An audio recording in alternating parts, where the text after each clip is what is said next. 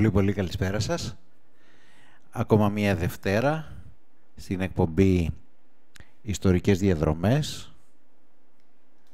Όπως σας είχα υποσχεθεί και στην προηγούμενη εκπομπή που ήταν μία άλλη συνέχεια με αφορμή τις εκπομπές που έχουν προηγηθεί αναφερόμενοι αρχικά στην Αμφίπολη και μετά καταπιανόμενες με την ιστορία του Μεγάλου Αλεξάνδρου και της μητέρας του και των εταίρων και επιγόνων του.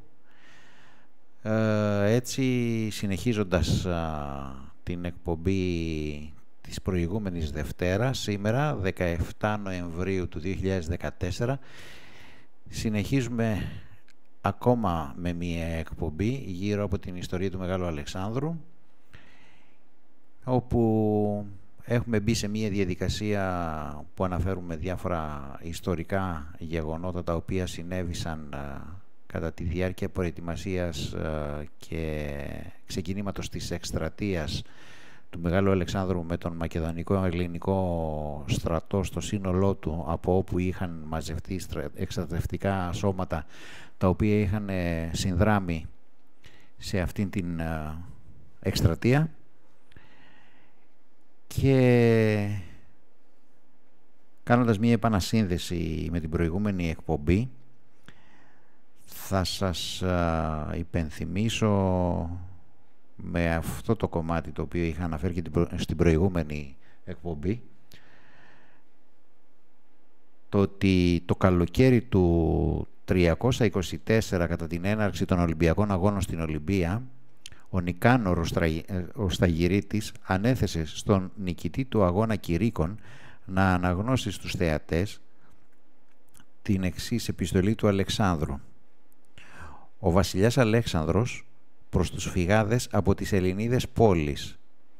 Δεν ήμασταν μεν εμείς η αιτία της εξορίας σας, θα γίνουμε όμως η αιτία επανόδου όλων σας πλην των ανοσιουργών γράψαμε σχετικά και στον Αντίπατρο για να υποχρεώσει σε υπακοή όσες πόλεις έχουν αντιρρήσεις.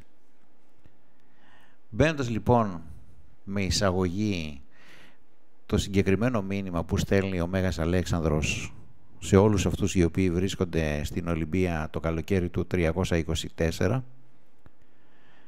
και συνδέοντάς το με τα γεγονότα τα οποία τρέχουν παράλληλα την εποχή εκείνη κατά την διάρκεια των συνεχιζομένων εκστρατιών που κάνει προς κατάληψη νέων χωρών ο Μέγας Αλέξανδρος μαζί με τους συμπολεμιστές του ε, θα σας πω το εξής. Ε, αν θυμάστε την προηγούμενη φορά σας είχα κάνει μία αναφορά και σας είχα πει ότι ο Μέγας Αλέξανδρος κάποια στιγμή βρέθηκε σε αντιπαράθεση με όλο το μακεδονικό στρατό όταν αυτοί βλέπανε ότι είχε αρχίσει και έβαζε μέσα στις τάξεις των στρατευμάτων σε όλες τις διαβαθμίσεις ε, και σε, όλες, και σε όλα τα αξιώματα Πέρσες στρατιωτικούς, νέους Ασιάτες εκπαιδευόμενους κατά τον μακεδονικό τρόπο και ήταν ένα πράγμα το οποίο δεν τους άρεσε καθόλου. Όλο αυτό συνδέεται σε σχέση με το πώς εξελίσσονται όλα τα πράγματα ιστορικά. Ο Αλέξανδρος ε, ως χαρακτήρας θα μπορούσαμε να πούμε ότι εάν γνωρίζουμε από την Οδύσσια του Ομήρου και από την Ηλιάδα του το πόσο πολυμήχανος και πανούργος ήταν ο Οδυσσέας ε, μπορούμε να έχουμε μία σκέψη σύγκρισης σε σχέση με πράγματα τα οποία ε, κάνει ο Μέγας Αλέξανδρος που αυτήν την εικόνα του Οδυσσέα θα μπορούσαμε να πούμε και να ισχυριστούμε ότι την πολλαπλασιάζει ο ίδιος για τον εαυτό του. Να πω ως ε, διαβασμένος και πάρα πολύ καλά εντρυφήσας και εκπαιδευμένος πια σε όλα αυτά τα οποία τον απασχολούσαν και που είχε κατά νου από τότε που ήταν 10 χρονών όταν ρωτούσε τους ε, Πέρσες ε, επιτετραμένους της ε, Περσικής Αυτοκρατορίας που έρχονταν στο Μακεδονικό Βασίλειο ως απεσταλμένοι του, της Πέρσικης Αυτοκρατορίας και τους ρωτούσε από τότε, από εκείνη την ηλικία, να μάθει με ποιον τρόπο θα μπορούσε κανένας να οδηγηθεί στο κέντρο, μέσα στην καρδιά της Πέρσικης Αυτοκρατορίας. Πώς θα μπορούσε να φτάσει στην πρωτεύουσά τους; Ζητούσε ε, διαδρομές, ε, καλύτερες περιπτώσεις, δυσκολίες, τι θα συναντούσε, πώς θα ήταν σαν μία μορφή περιήγησης η διαδρομή αυτή από τη Μακεδονία μέχρι εκεί που χτυπούσε η καρδιά της Περσικής Αυτοκρατορίας, στην Περσέπολη. Αν σκεφτεί κανείς λοιπόν ότι αυτά είχε αρχίσει και δεν επεξεργαζόταν με το μυαλό του όταν ήταν 10 χρόνων και αν σκεφτεί ότι είχε έναν από τους καλύτερους α, δασκάλους που τον εκπαίδευσαν και τον α, έκαναν γνώστη πόσο πολλών και διαφορετικών πραγμάτων όπως ήταν ο μεγάλος του ο Αριστοτέλης ο δάσκαλος μπορούμε να φανταστούμε με τις πονηριές που εφάρμοζε ο Οδυσσέας πόσο πιο πανούργος και πόσο πιο ε, μελετημένος καλύτερα ήταν ο ίδιος ο Μέγας Αλέξανδρος. Αν συνδέσουμε το γεγονός αυτό που μόλις σας διάβασα πριν που λέει ότι εμείς θα γίνουμε η αιτία επανόδου όλων όσων είστε Έλληνες και δεν ήμασταν εμείς η αιτία της δικής σας εξορίας κάνοντας τι; Κάνει μία διπλή κίνηση εκεί. Από τη μία περιέχει ένα πνεύμα στρατιωτικής εφαρμογής και από την άλλη παράλληλα και πολιτικής. Σε δυτή κατεύθυνση, τόσο στο χώρο στον οποίο βρίσκεται εκείνος μαζί με το στράτευμά του εκ του φυσικού, δηλαδή στα αχανή πεδία της Περσικής Αυτοκρατορίας, πολύ μακριά από την ε, ελλαδική γη, αλλά ακριβώς κατά τον ίδιο τρόπο πώς η κίνησή του αυτή επιδρά και πάνω στην ίδια την Ελλάδα με τις ε, δικές της πόλεις που έχουν ενοποιηθεί κάτω από την ε, αρχηγία της Μακεδονικής Βασιλείας και όπου έχει την εποπτεία της λειτουργίας αυτής ο Αντίπατρος ως αντιβασιλέας του. Ο Αντίπατρος είναι... Μπορούμε να, φανταστούμε τον τρόπο με τον οποίο εξελίσσονται όλα αυτά τα πράγματα εάν σκεφτούμε ότι ο Αντίπατρος καταλήγει να είναι ένας στόχος στη θέση θύματος για λογαριασμό του Μεγάλου Αλεξάνδρου, αλλά από την άλλη μεριά ο ίδιος είναι αρκετά έξυπνος και γνωρίζοντας πολύ καλά με ποιον έχει να κάνει, έχει αντιληφθεί το ότι από εκεί που υπήρξε ο πρώτος πρώτος υποστηριχτής του Μεγάλου Αλεξάνδρου για να μπορέσει να εδρεοποιήσει τη θέση του στην ε, βασιλεία του Μακεδονικού κράτους ήταν αυτός ο οποίος τον υποστήριξε πατέρας του Κάσανδρου και του Ιόλαου όπου έφτασαν αυτοί οι δύο άντρες να είναι εχθροί πλέον ο κάθε ένας από τη δική του την πλευρά να έχει αντιληφθεί το τι πρεσβεύει ο άλλος ο αντίπατρος φοβόταν τον Μέγα Αλέξανδρο, τον φοβόταν για την ίδια του τη ζωή και για την οποιαδήποτε επέκταση θα μπορούσε να έχει η οποιαδήποτε κίνηση η δική του που δεν θα άρεσε στον Μέγα Αλέξανδρο και το τι μπορεί να έφερνε σαν αποτέλεσμα. Αλλά από την άλλη μεριά και ο Μέγας Αλέξανδρος ήξερε πάρα πολύ καλά ότι ο Αντίπατρος ήταν ένας α, στρατηγός του σε ύψιστο βαθμό στρατηγίας μια και είχε την ε, αντιβασιλεία στα χέρια του που του την είχε εμπιστευτεί ο ίδιος ήταν όμως ε, και αυτός ως ένας υποψήφιος προσβλεπών στην ε, αναρρίχηση της βασιλικής θέσης. Δηλαδή έβλεπε τον εαυτό του σαν τον επικείμενο μελλοντικό βασιλιά στη θέση του Μέγα Αλέξανδρου. Αυτά ήταν γνωστά και στους δύο, με εύσχυμους τρόπους βέβαια, συγκαλυμμένους, δεν μπορούσαν να αντιπαρατεθούν οι δυο τους εκ του φυσικού, μια και το πάνω χέρι το είχε ο Μέγας Αλέξανδρος. Αλλά και η πορεία του Μεγάλου Αλεξάνδρου, η σύγκρουσή του με τους δικούς του στρατιωτικούς, τον έφεραν σε μια δυσμενή, δυσχερέστερη θέση και είχε σαν αποτέλεσμα να αρχίσουν να δημιουργούνται κάποιοι πυρήνες οι οποίοι διάλεγαν πλέον ε, στρατόπεδο, όπως θα το λέγαμε.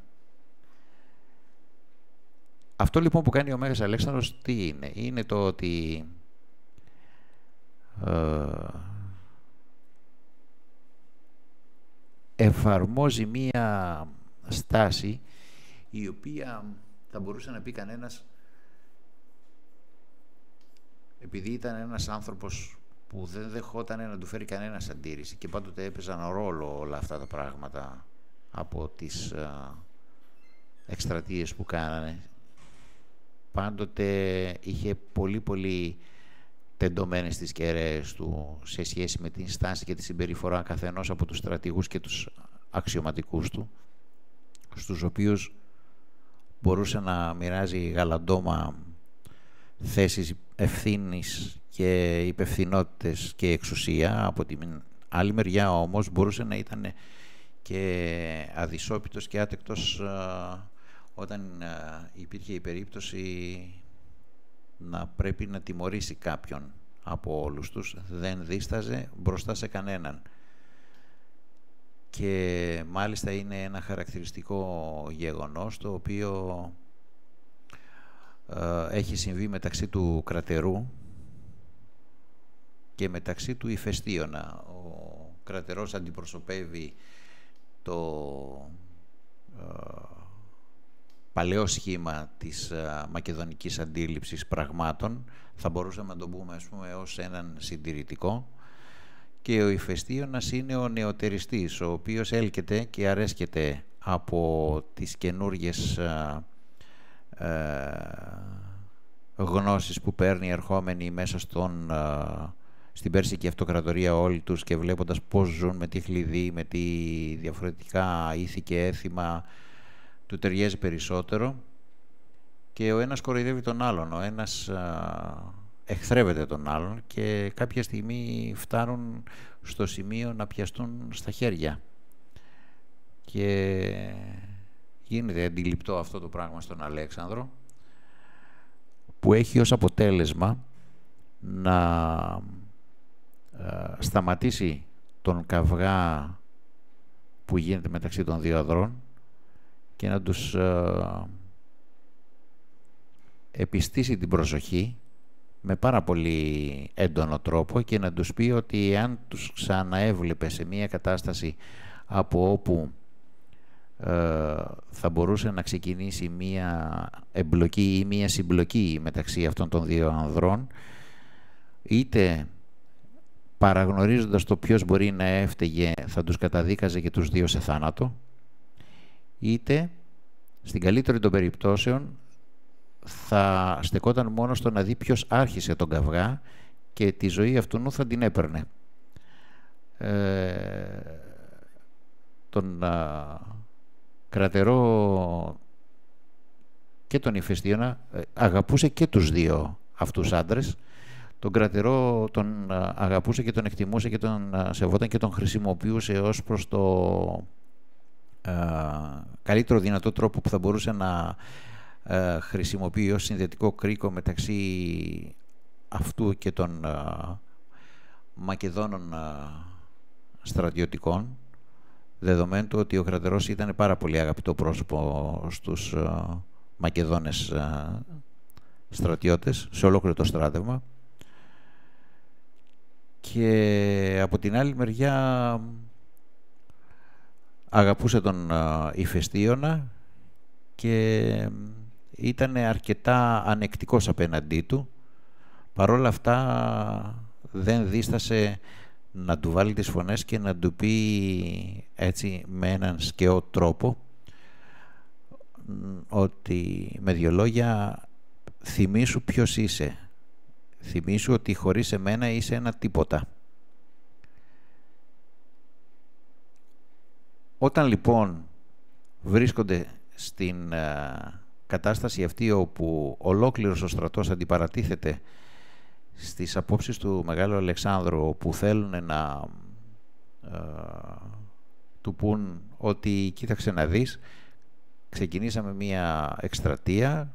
Ο σκοπός μας και στόχος μας ήταν αυτό το οποίο είχαμε στο μυαλό μας και είχαμε γαλουχηθεί με αυτό το ότι έπρεπε να φτάσουμε να καταλάβουμε την Περσική Αυτοκρατορία για να εκδικηθούμε την προ 150 χρόνων εισβολή των Περσών στην Ελλάδα και τις καταστροφές που προκάλεσαν σε όλες τις πόλεις κράτη που είχαν καταλάβει τότε εισβάλλοντας στον ελληνικό χώρο.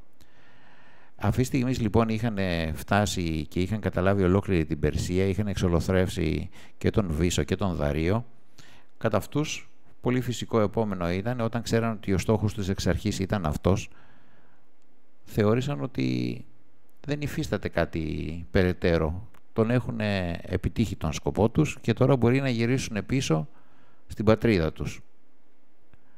Ο Αλέξανδρος όμως είχε άλλες ε, απόψεις, άλλη σκέψη, εκεί που περίμενε ότι θα έφτανε να ταινίσει το τέλος της γης κατά τον τότε περιγραφόμενο κόσμο και την αρχή της Μεγάλης Θάλασσας, γνωσ... Ε, γίνοντας, ε, γινόμενος γνώστης ότι εκεί που ξεκινάει η Ινδία υπάρχει πάρα πολύ μεγάλη απόσταση ακόμα μέχρι να φτάσουν στη θάλασσα. Ε, ήταν ένας ε, χαρακτήρας εκφύσεως ε, δημιουργός προκλήσεων προς τον ίδιο. Ήταν ε, αυτός ο άνθρωπος ο οποίος κυνηγούσε το ότι μπορούσε να αποδείξει ότι μπορούσε να πάει και πιο εκεί, ότι τίποτα δεν μπορούσε να τον σταματήσει. Φανταστείτε λοιπόν πώς αισθάνθηκε όταν όλο αυτό του το στράτευμα είχε μία αρνητική στάση η οποία τελικά επικράτησε κιόλας και φαίνεται ότι ο Μέγας Αλέξανδρος δεν το ξέχασε ποτέ αυτό εάν λάβουμε υπόψη μας ότι οτιδήποτε γινόταν αρνητικό απέναντί του ποτέ δεν το ξεχνούσε, ακόμα και όταν έδειχνε με κάποια στάση του ότι τα πράγματα έχουν να κάνουν με ε, κάποιους που ναι μεν έχουν ησυχάσει, αυτοί μπορεί να το είχαν ε, ε, δεχτεί και να είχαν εφησυχαστεί ότι εντάξει τελείωσε ένα χι αρνητικό γεγονός, Πάντοτε όμως το διατηρούσε στο πίσω μέρος των σκέψεών του και την κατάλληλη και δεδομένη στιγμή για να μπορεί να συνδεθεί με ένα απόλυτα δικαιολογημένο ε,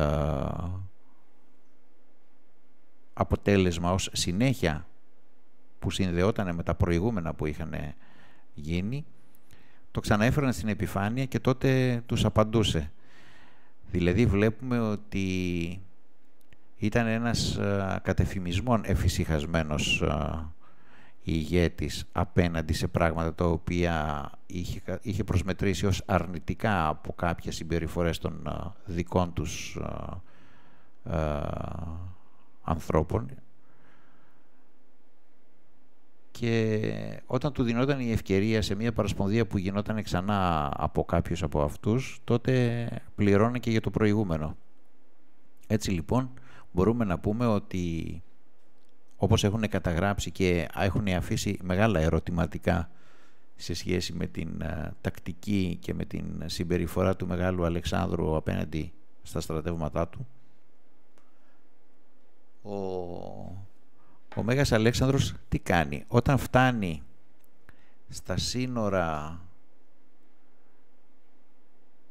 της ερήμου της Γεδροσίας, δηλαδή να περάσει αυτήν την τεράστια έρημο την οποία είχε διαβάσει, είχε ακούσει και είχε ενημερωθεί ότι στο παρελθόν είχαν προσπαθήσει η Σεμίραμις και ο Κύρος σε δύο διαφορετικές ξεχωριστές περιόδους να την, να την προσπελάσουν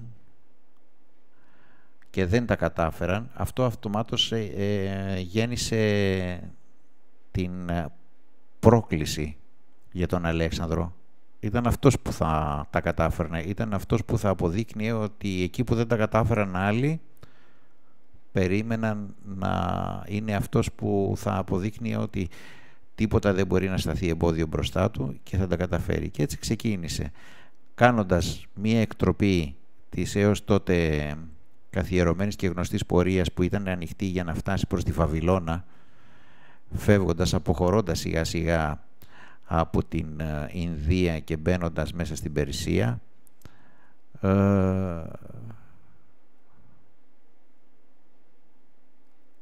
έφερε τον, τον στρατό του πιο νότια και τον, ουσιαστικά τον υπέβαλε σε μία ε, διαδικασία κακουχίας μέσα από πολύ σκληρές και άγριες συνθήκες περάσματος μιας ε, πολύ πολύ αμφιλόξενης ερήμου η οποία ουσιαστικά τους ε, χτύπησε και λέγεται ότι από το σύνολο των εκστρατιών που έκανε κατά των Περσών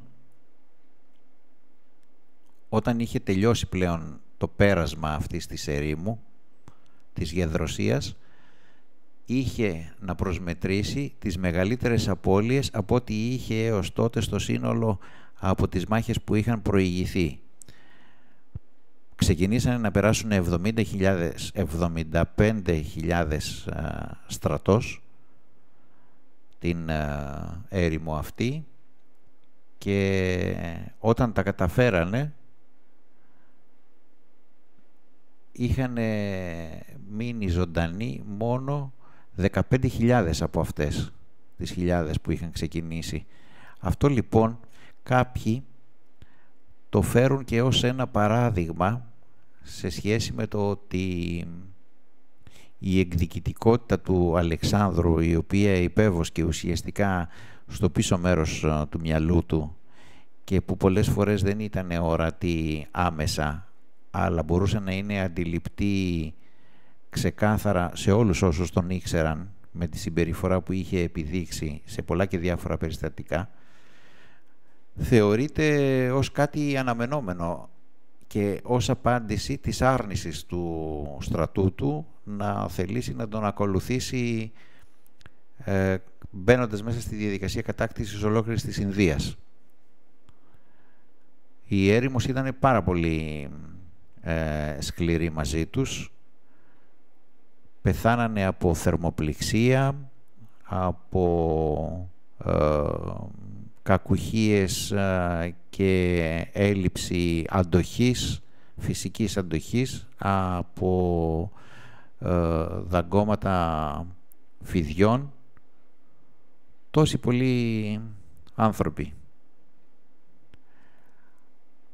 Έτσι λοιπόν, αφού έχουν περάσει και ενώ πηγαίνουν προς την Βαβυλωνία, εκεί παίρνει μία άλλη απόφαση. Με επικεφαλής τον κρατερό, ο οποίος ήταν ε, αρκετά μεγάλος πλέον για να συνεχίζει να πολεμάει. Να σας πω ενδεικτικά ότι ο Αλέξανδρος μπορεί να ήταν ε, ανάμεσα στα 20 και 25 του σε μία από τις πιο βασικές στιγμές της ε, εκστρατείας αλλά ε, φανταστείτε ότι δεν είναι συνομιλική του όλη αυτή η στρατηγή και οι μεγάλοι πολέμαρχοι που τον ε, ακολουθούν.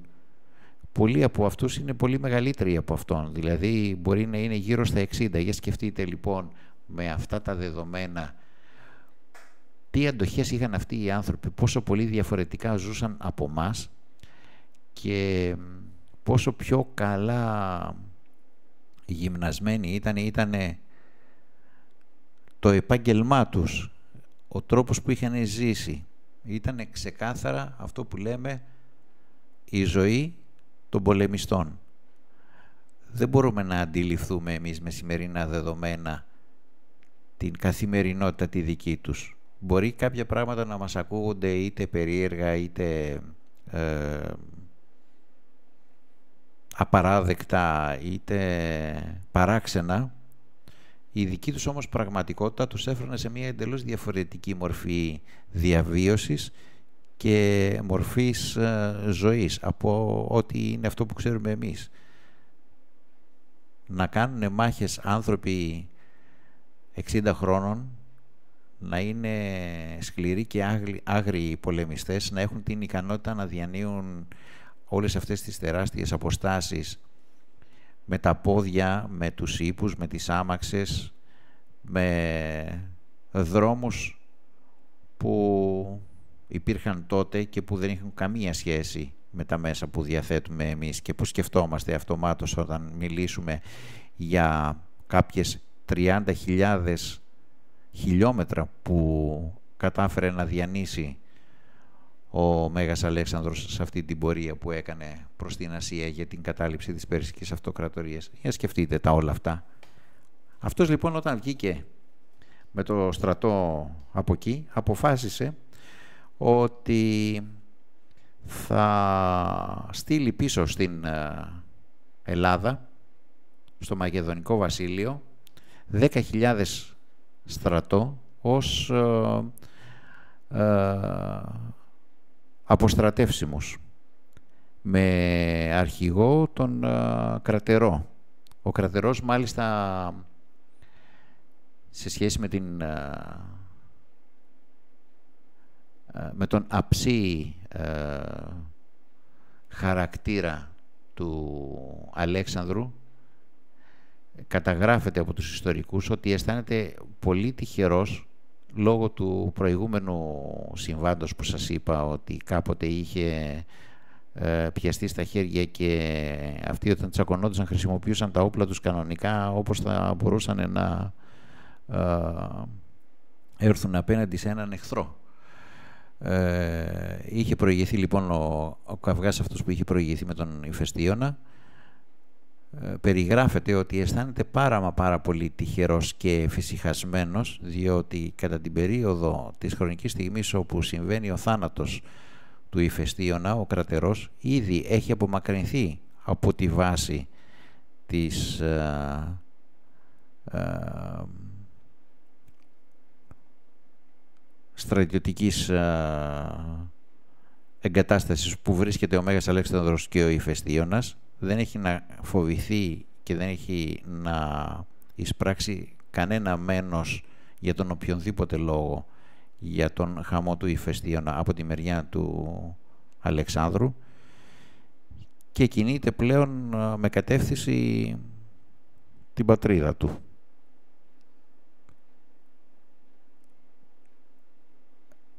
Αυτό σας το λέω έτσι για να αντιληφθείτε λίγο το πώς κινούνται τα πράγματα μεταξύ όλων αυτών. Ε, επίσης, ε, τι συμβαίνει; Σε αυτές τις 10.000 ε, στρατιώτες, ο Μέγας Αλέξανδρος τι έχει κάνει; Τους έχει πιάσει και τους έχει πει λόγω της α,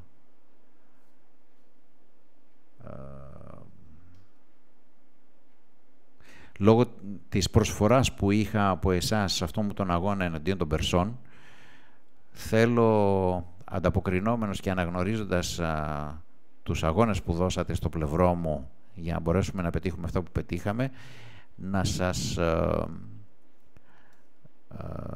πληρώσω οποιοδήποτε χρέος και δάνειο έχετε, ούτως ώστε να μην είσαστε ε, χρεωμένοι.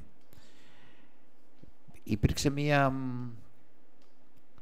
άρνηση από τη μεριά των στρατιωτών, διότι γνωρίζοντας ποια ήταν η συμπεριφορά του Αλέξανδρου, έχοντας συμπολεμήσει στο πλευρό του επί όλα αυτά τα χρόνια τα οποία κινήθηκαν μέσα στην Περσική Αυτοκρατορία και έχοντας δει από την καλή και από την ανάποδη την συμπεριφορά του ιδίου ε, δεν εμπιστεύτηκαν και τόσο πολύ την κίνηση αυτή που έκανε και ήταν πάρα πολύ επιφυλακτικοί διότι αυτομάτως σκέφτηκαν ότι δεν το κάνει τυχαία, ότι κάτι άλλο έχει μέσα στο μυαλό του, το οποίο μάλλον θα ήταν σε βάρος τους.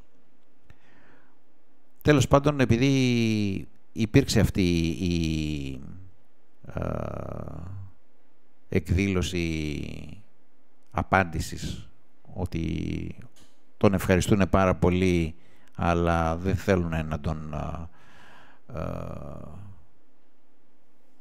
κάνουν να χρησιμοποιήσει ένα πολύ μεγάλο μέρος α, των, α, της περιουσίας που είχε για να διαγράψει τα δικά τους χρέη. Αυτός όμως επανήλθε και τους έδωσε εγγυήσεις ότι να μην φοβούνται και ότι δεν πρόκειται να τους ζητήσει κάτι παραπάνω και ότι είναι ειλικρινής η διάθεσή του να τους προσφέρει αυτό το πράγμα. Όπως και τελικά το δέχτηκαν και προσεφέρθη για τον κάθε ένα τους το αντίτιμο το οποίο τους έφερε την αποπληρωμή των χρεών και μάλιστα είναι χαρακτηριστικό να σκεφτείτε ότι σε όλη αυτή τη διαδικασία της εκστρατείας όπου πέρα από τα στρατεύματα ακολουθεί ένας άλλος συρφετός από πίσω ολόκληρος, μια ολόκληρη οργανωμένη πολιτεία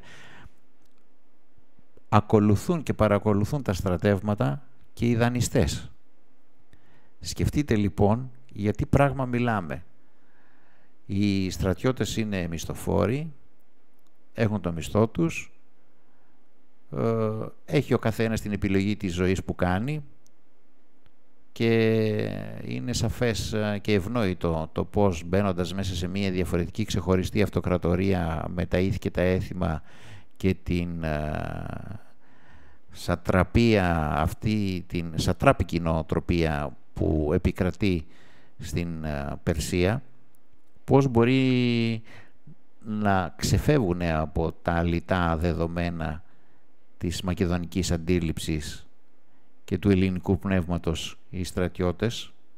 Μην ξεχνάτε ότι οποτεδήποτε τους δινόταν η ευκαιρία το ρίχνανε στην Ινοποσία. Είναι γνωστό ότι οι Μακεδόνες ήταν ε,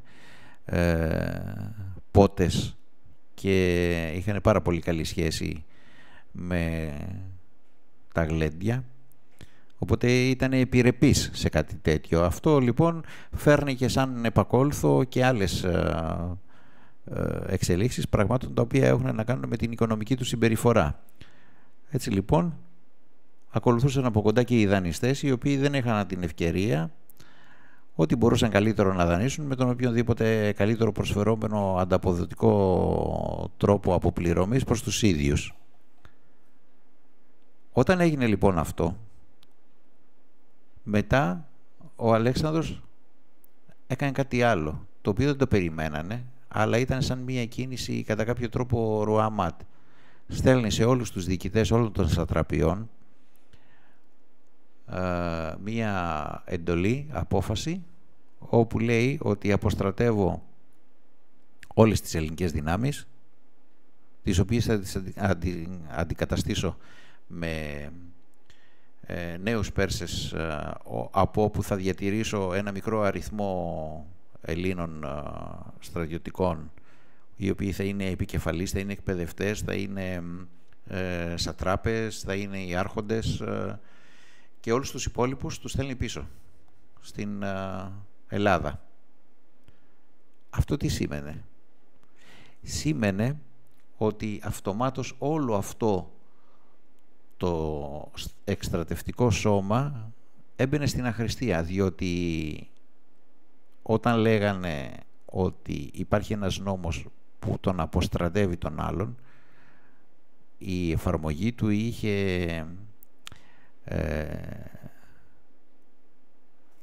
δύναμη και για την ίδια την Ελλάδα. Δηλαδή αυτοί οι άνθρωποι έχοντας μεγαλώσει και έχοντας εκπαιδευτεί με το πνεύμα και με την αντίληψη ενός μαχητή θα γυρίζανε πίσω στην Ελλάδα και δεν θα μπορούσαν να βρουν πουθενά δουλειά.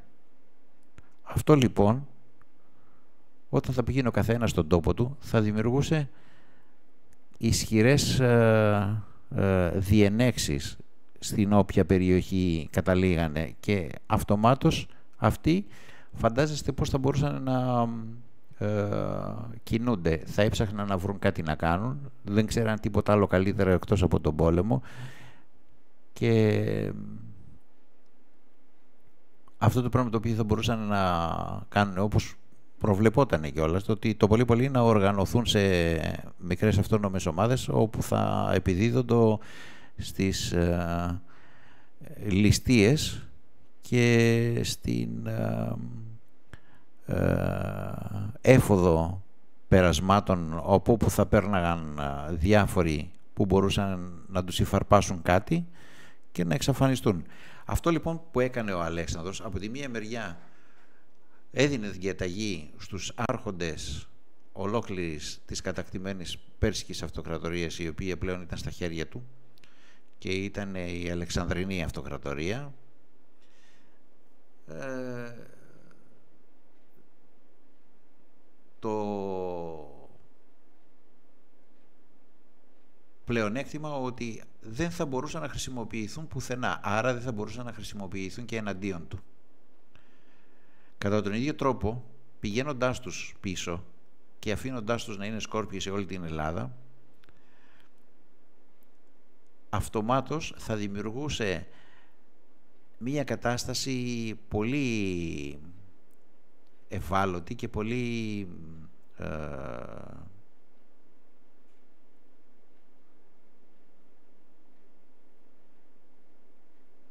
ρευστή ο κάθε ένας θα φοβότανε στο πώς θα μπορούσε να διατηρήσει την ισορροπία του ως ισχυρός και ως ε, ε, απείραχτος απέναντι σε κάποιον άλλον. Και έτσι φαντάζεστε το τι ε, σκηνικό είχε προμελετήσει για να μπορέσει να το προωθήσει προς τα εκεί που το προώθησε. Επίσης κάτι άλλο το οποίο έκανε ήταν το εξής. Επειδή είχε δει ότι πολλοί είχαν αρχίσει και εκφραζόντουσαν εναντίον του. Και για να είναι σίγουρος διότι όλες αυτές οι θέσεις δημιουργούν και την επιθυμία της διαφύλαξης του καθενός που βρίσκεται σε μια τόσο ψηλή θέση από τους επικείμενους εγχώριους εσωτερικούς εχθρούς ήθελα να ξέρει ποιοι είναι αυτοί οι οποίοι είναι πραγματικά κοντά του και ποιοι είναι αυτοί οι οποίοι μπορεί να είχαν αρχίσει να μεταστρέφουν την άποψή τους για το άτομό του και να τον βλέπουν εχθρικά και να τον κάνουν στόχο. Τα είχε υπόψη του αυτά ο Μέγας Αλέξανδρος και τι κάνει. λέει όταν βγήκανε από την έρημο της Γεδροσίας προς το σύνολο των, του, των στρατευμάτων που είχαν ξεκινήσει από την Ελλάδα και ήσαν μακριά από την πατρίδα και από τις οικογένειές τους ότι θα ξεκινήσει ο βασιλικός, ο, ο βασιλικός ταχυδρόμος και θα μεταφέρει αλληλογραφία στην Ελλάδα και τους δίνει το δικαίωμα αν θέλουν να γράψουν στους οικείους τους και θα αναλάβει το βασιλικό ταχυδρομείο να το μεταφέρει για λογαριασμό τους στους ε, δικούς τους ανθρώπους.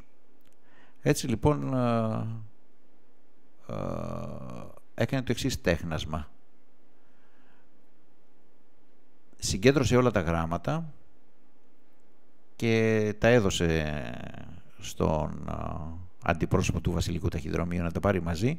Ξεκίνησε αυτός λοιπόν και στην πορεία προς την Ελλάδα όταν έφτασε στον τρίτο σταθμό της πορείας αυτής από εκεί που είχε ξεκινήσει έκανε μια αναστροφή και όλα αυτά τα γράμματα τα οποία είχαν γραφεί ξαναγύρισαν πίσω.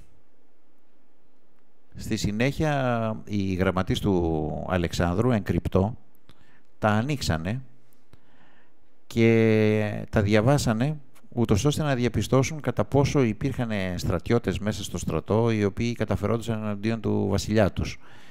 Και όπου βρέθηκαν τέτοιες α, ε, αναφορές, ο Αλέξανδρος δεν τους τιμώρησε, ούτε τους έφερε σε μία δύσκολη θέση αποκαλύπτοντας, αλλά και αποκαλυπτόμενος με αυτόν τον τρόπο, εάν έκανε κάτι τέτοιο, το τι ήταν αυτό που είχε κάνει, διότι ήξερε πάρα πολύ καλά ότι πλέον θα είχε χάσει παντελώς το παιχνίδι της εμπιστοσύνης από το στράτευμά του απέναντί του. Τι κάνει όμως; Όλους αυτούς οι οποίοι κατά κάποιο τρόπο ε, εκδηλωνόντουσαν μέσα στις γραφές τους ε, ε, είτε με υποτιμητικά λόγια κατά του Αλεξάνδρου είτε με επικριτικά λόγια είτε με ένα σαφή διαχωρισμό που προτιμούσαν κάποιους και κάποιους άλλους τους κατηγορούσαν οι οποίοι μπορεί να μην ήσαν μέσα στους να ήταν ευνόμενοι του Αλεξάνδρου για να μην ήταν ε, έτσι με αυτόν τον τρόπο άρεστη σε κάποιους άλλους.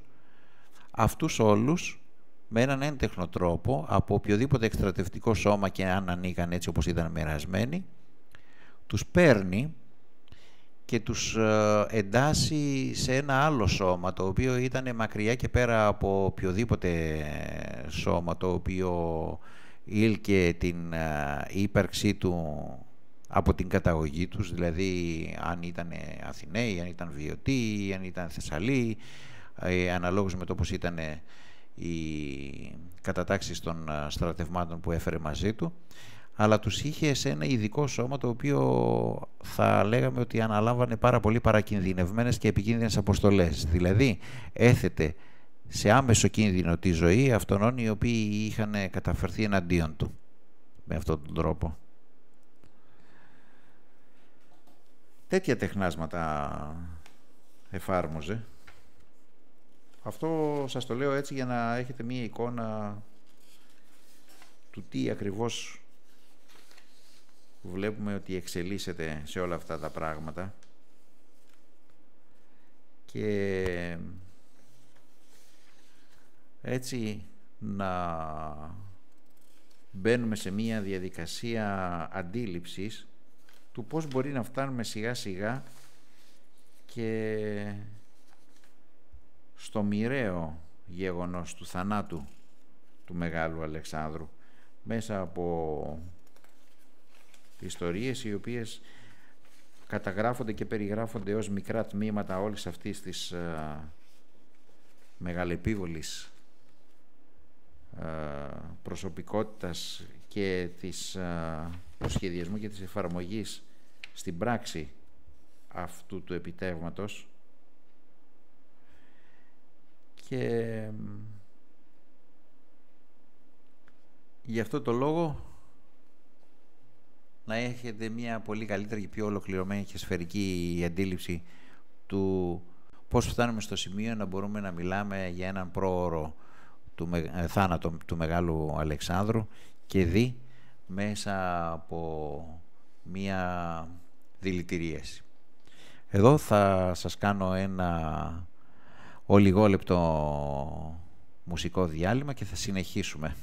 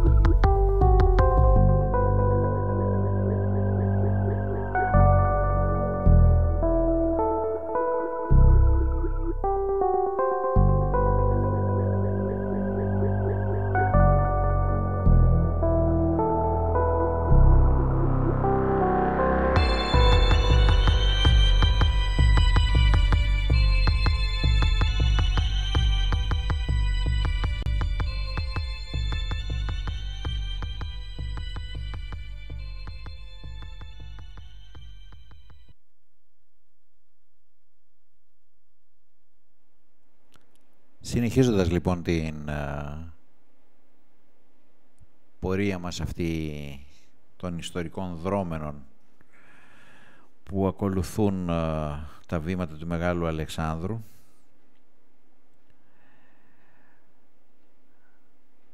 κατά τον Διόδωρο όταν βρισκόταν σε απόσταση 300 σταδίων δηλαδή περίπου γύρω στα 55,5 χιλιόμετρα μακριά από τη Βαβυλώνα οι Χαλδαίοι του έστειλαν αντιπροσωπεία για να τον ενημερώσουν σχετικά με έναν χρησμό που είχαν λάβει από τον Βάλ πως αν έμπαινε μέσα στην πόλη θα πάθαινε μεγάλο κακό. Όμως η αντιπροσωπεία δεν, το, δεν τόλμησε να παρουσιαστεί στον Αλέξανδρο και ο Βελεφάντης, ο επικεφαλής της, προτίμησε να ενημερώσει τον νέαρχο που πήγε στον Αλέξανδρο για να του αναφέρει την εκτέλεση της αποστολής του. Ο νέαρχος ενημέρωσε σχετικά τον Αλέξανδρο ότι είχε αυτό το αποτέλεσμα από τους ε, Μάντις ο οποίος είχε, ο Αλέξανδρος είχε θορυβηθεί πάρα πολύ διότι γνώριζε την ικανότητα των Χαλδαίων στην αστρολογία και στην αστρονομία. Έστειλε λοιπόν τη στρατιά του στη Βαβυλώνα αλλά ο ίδιος με την ακολουθία του πήρε άλλο δρόμο και στρατοπέδευσε σε απόσταση 200 σταδίων περίπου 37 χιλιόμετρα από τη Βαβυλώνα. Όλοι και ειδικά οι Έλληνες απόρρισαν που δεν έμπαινε στην πόλη και πήγαν να δουν τι συνέβαινε.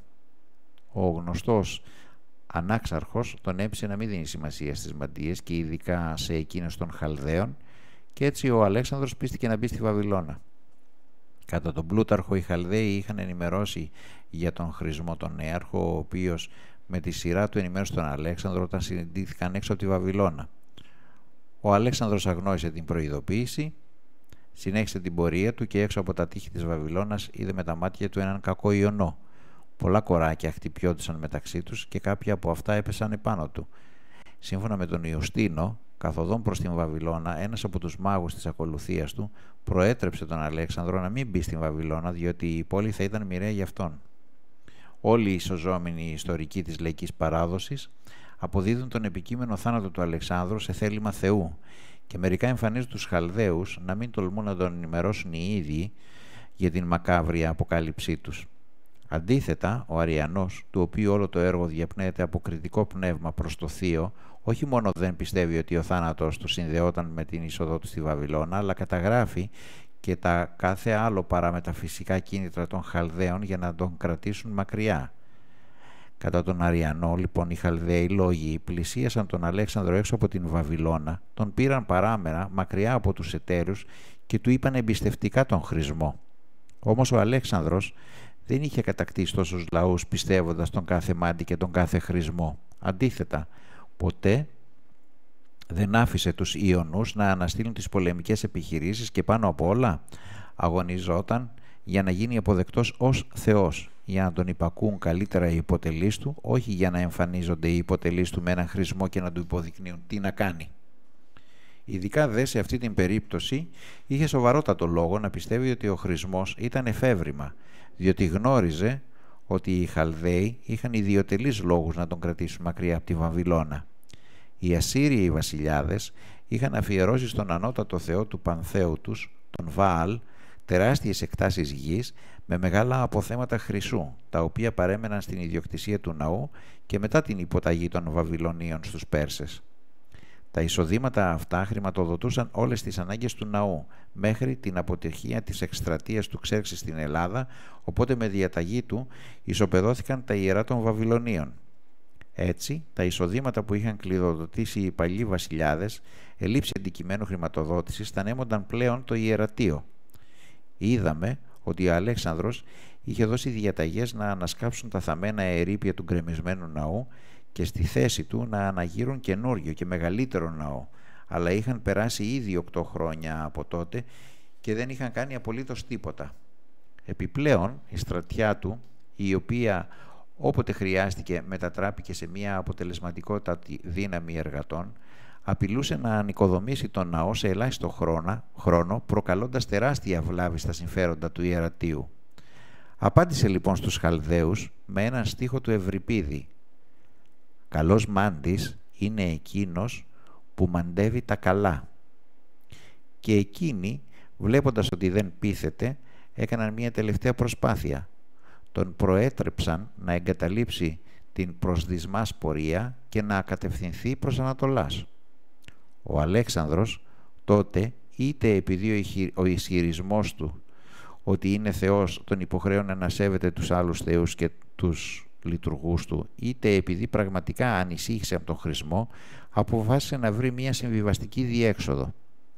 Για την ακρίβεια, πιστεύοντας ότι θα αποδείχνει ότι ήταν πιο πονηρός από το ιερατείο, απλώς άλλαξε την κατεύθυνση της πορείας, όχι όμως και τον προορισμό της.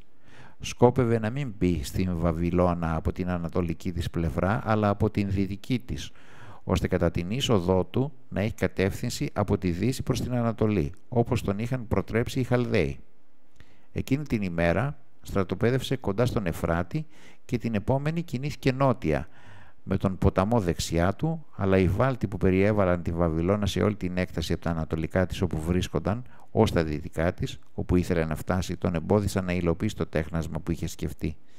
Έτσι, ο Αλέξανδρος μπήκε στη Βαβυλώνα από τα ανατολικά υποχρεωμένος θέλοντας και μη να αγνοήσει τις προειδοποιήσεις των Χαλδαίων. Μπαίνουν λοιπόν μέσα στην Βαβυλώνα και εκεί ε, τελείται η κηδεία του Ηφαιστίωνα, την σωρό του οποίου είχε φέρει πιο πριν ο Περδίκας. Για την κατασκευή της ταφικής πυράς, ο Αλέξανδρος γκρέμισε τα τείχη της πόλης σε έκταση 10 σταδίων, δηλαδή περίπου 1800 μέτρα. Διάλεξε τις ψημένες πλήνθους, εξομάλυνε το έδαφος και έφτιαξε ένα τετράγωνο, τετράγωνο κρυπίδωμα επιφάνειας ενός τετραγωνικού πλέθρου περίπου 874 τετραγωνικών μέτρων. Επάνω του κατασκεύασε 30 θαλάμους και έστρωσε την οροφή τους με κορμούς φινίκων ώστε η όλη κατασκευή να είναι τετράγωνη. Η εξωτερική διακόσμηση αποτελούνταν από 7 επάλληλα διαζώματα. Το διάζωμα της βάσης αποτελούσαν 240 χρυσές πλώρες πεντήρων που στις εποτίδες, τα δύο δοκάρια κατέρωθεν της πλώρης από όπου κρέμονταν οι άγκυρες, είχαν ένα άγαλμα τοξότη ύψους 4 πύχιων, δηλαδή περίπου ένα 80 μέτρο, με το ένα πόδι γονατισμένο σε θέση βολής, ενώ στο κατάστρωμα υπήρχαν αδριάντες ενόπλων ύψους 5 πύχιων, περίπου 2,20. Τα διάκαινα μεταξύ στις πλώρες συμπλήρωναν μάλινες φοινικίδες, κόκκινες σημαίες που σηματοδοτούσαν την έναρξη ναυμαχίας.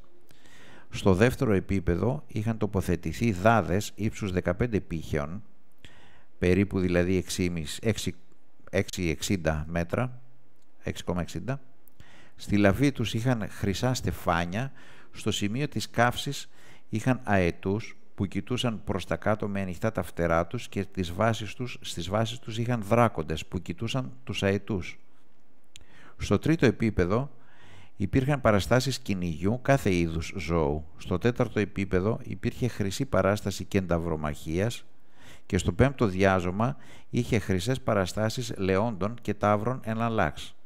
Το έκτο διάζωμα είχε παραστάσεις μακεδονικών και περσικών όπλων που συμβόλιζαν την νίκη των Μακεδόνων επί των Βαρβάρων. Στο ανώτατο διάζωμα υπήρχαν κούφια αγάλματα σιρήνων από όπου αθέατες μυρολογήτρες έψαλαν τον επικίδιο ε, θρήνο στο νεκρό.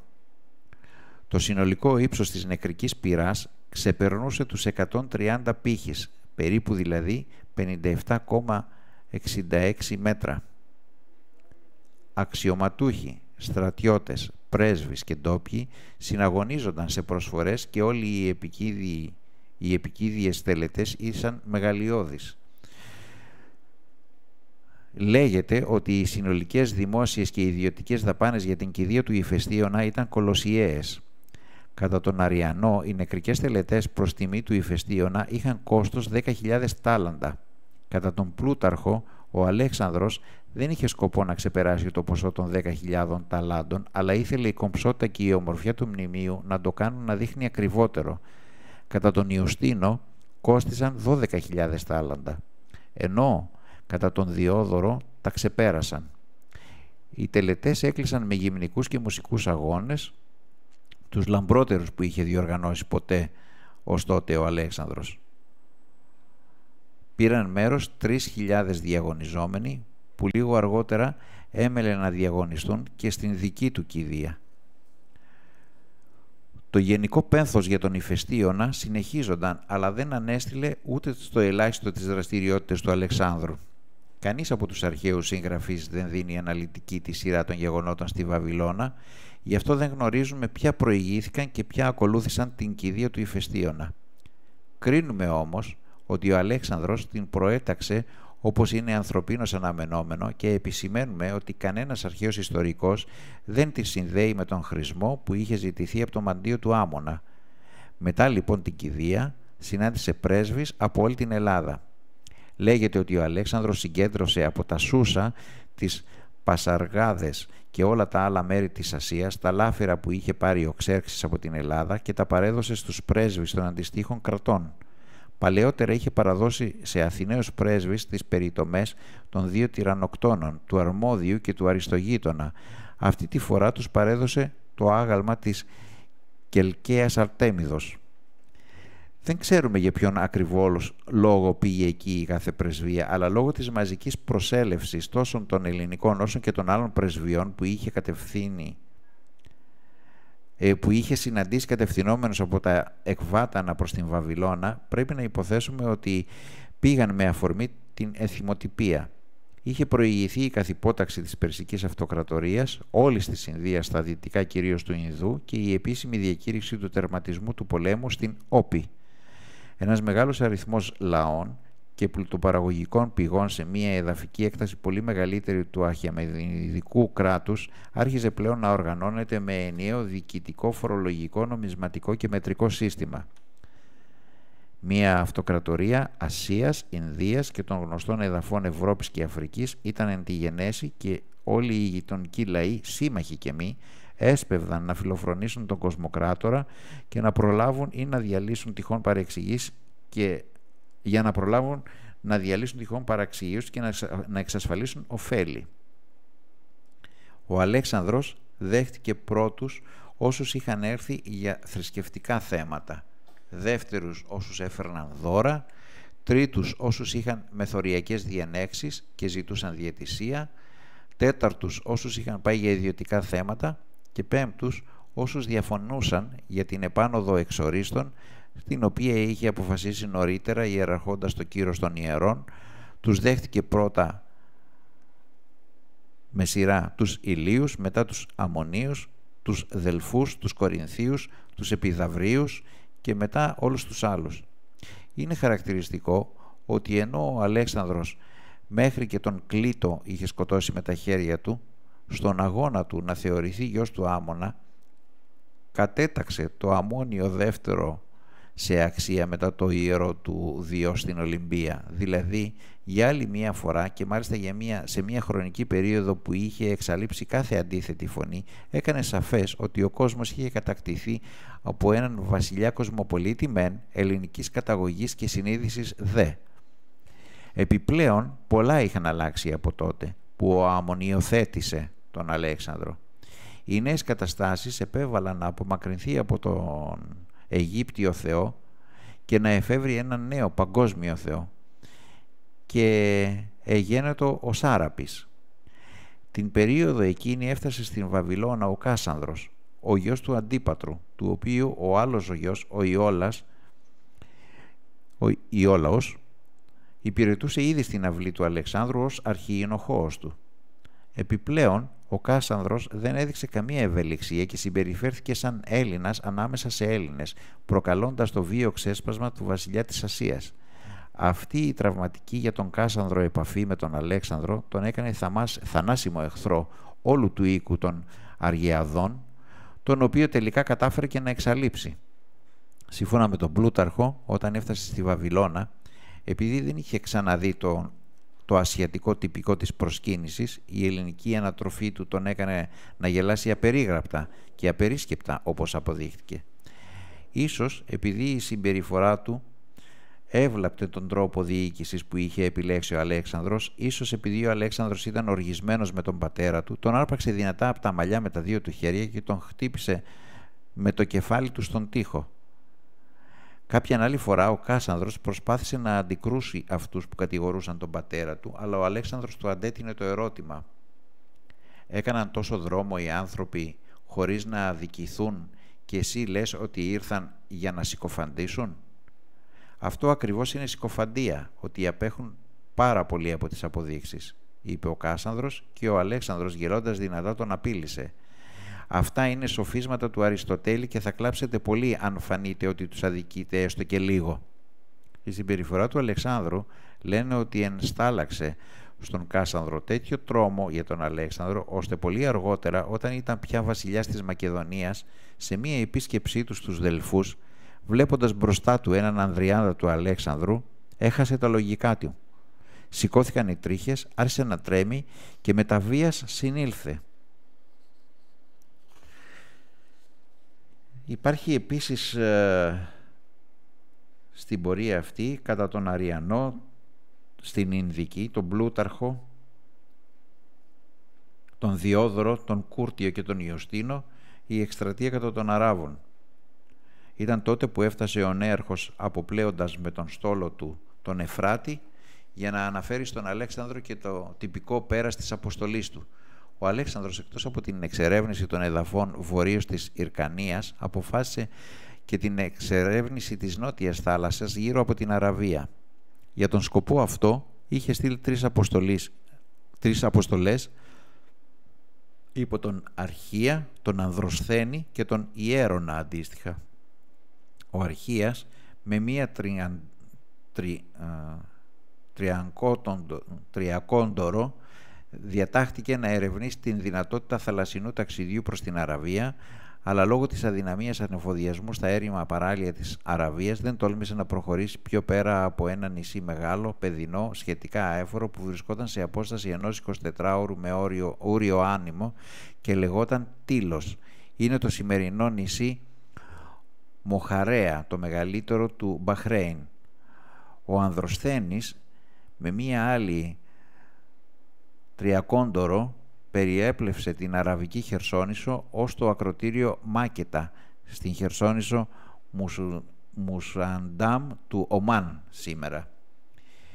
Ο Ιέρον από τους Σόλους με μία τρίτη τριακόντορο πήρε διαταγή να περιπλέψει την Χερσόνησο και να καταλήξει στην Αίγυπτο, στην Αιγυπτιακή πλευρά της Ιεροπόλεως, το Πυθόμ, αλλά ούτε αυτός κατάφερε να φτάσει ως τέρμα του προορισμού του. Ωστόσο, περιέπλευσε το μεγαλύτερο μέρος της Αραβικής Χερσονήσου και όταν επέστρεψε ενημέρωσε τον Αλέξανδρο ότι η Αραβία ήταν πολύ μεγάλη, όσοι περίπου και η Ινδία, ότι η Χερσόνησος της προχωρούσε βαθιά μέσα στην θάλασσα, ότι είχε πολλά νησιά και αγκυροβόλια γύρω από τις ακτές της και ότι υπήρχαν Κασία, Σμύρνα, Λιβανοτός, Κινάμονμον και αυτοφυείς Νάδρη, Νάρδη.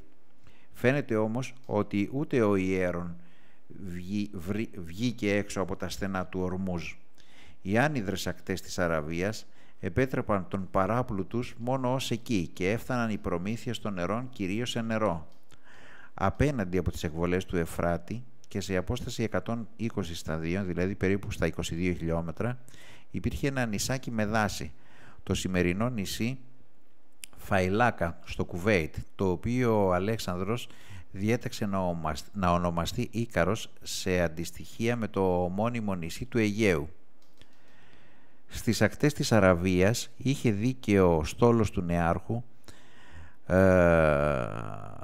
όταν μάλιστα παρέπλεαν από τις ακτές της Αρμόζιας στα στενά του Ορμούς ότι ήταν πολύ κοντά τους ώστε αρκετοί κυβερνήτες μεταξύ των οποίων και ο Νησίκριτος πρότειναν να την προσεγγίσουν. Όμως ο νέαρχος επέμενε να ολοκληρώσει την αποστολή που του είχε αναθέσει ο Αλέξανδρος, δηλαδή να εξερευνήσει τα νότια παράλια της Ασίας προς την Αραβική θάλασσα και τον Περσικό κόλπο και να μην αναλάβει με δική του πρωτοβουλία πλέον εγχειρήματα εν αγρία του Αλεξάνδρου.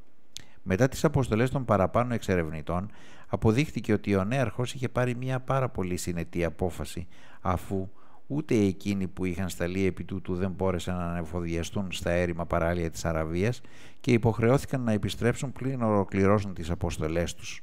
Ο νέαρχος που ήδη είχε υποστεί σημαντικές ταλαιπωρίες στην κύρια αποστολή του, αν συνενούσε στην περιέπλευση της Αραβίας, το λιγότερο που θα μπορούσαμε να πούμε είναι ότι δεν θα βραβευόταν από τον Αλέξανδρο για τις ναυτικές του υπηρεσίες. Ο Αλέξανδρος σκόπευε να επικίσει τα νησιά και, την, και τα παράλια του Περσικού κόλπου, διότι πίστευε ότι ευρισκόμενα πάνω στη θαλασσιά εμπορική οδό μεταξύ Ινδίας και Βαβυλώνας είχαν όλες τις προοπτικές να γίνουν εξίσου πλούσια με την Φινίκη. Σύμφωνα με τις πληροφορίες των εξερευνητών, η Αραβία ήταν πολύ πλούσια χώρα. Γι' αυτό ήθελε να την εντάξει στον κόσμο του. Είτε το ήθελαν οι Άραβες, είτε όχι. Δηλαδή, ο Αλέξανδρος ήθελε να κατακτήσει την Αραβία για τους ίδιους λόγους που τον Μεσαίωνα κατέκτησαν την Ινδία οι Ευρωπαίοι και για ανάλογους με εκείνους που σήμερα χειραγωγούν τα αραβικά κράτη οι πετρελαϊκές εταιρείες. Οι Άραβες της δύσης δεν είχαν προβάλει όμως καμία αντίρρηση και ε, έτσι μπορούσαν να γίνουν ε, υποτελείς φόρου όταν ε, κατέλαβε την Αίγυπτο. Οι Άραβες όμως των Ανατολικών παραλίων είχαν αγνοήσει επιδεικτικά τον βασιλιά της Ασίας και δεν του είχαν στείλει πρέσβεις για να ζητήσουν τα επινοικιά του ή να τον τιμήσουν για τις επιτυχίες του. Ο Αλέξανδρος δεν χρειαζόταν σημαντικότερη αφορμή για να τους επιτεθεί και άρχισε την προπαρασκευή για την απόβαση στις αραβικές ακτές του Περσικού κόλπου. Έξω από τη Βαβυλώνα, ο Αλέξανδρος διέταξε να γίνουν οι κατάλληλες χωματουργικές εργασίες για την κατασκευή ένα στάθμου και των αναλόγων νεοσύκων.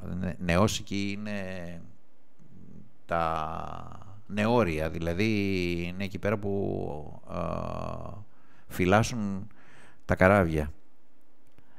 Για χίλια πολεμικά πλοία, ενώ έστειλε τον Μίκαλο, τον Κλαζομένιο στην Φινίκη και την Συρία με 500 τάλαντα για να προσλάβει ελεύθερους πολίτες και να αγοράσει δούλους εκπαιδευμένους στα θαλασσινά επαγγέλματα.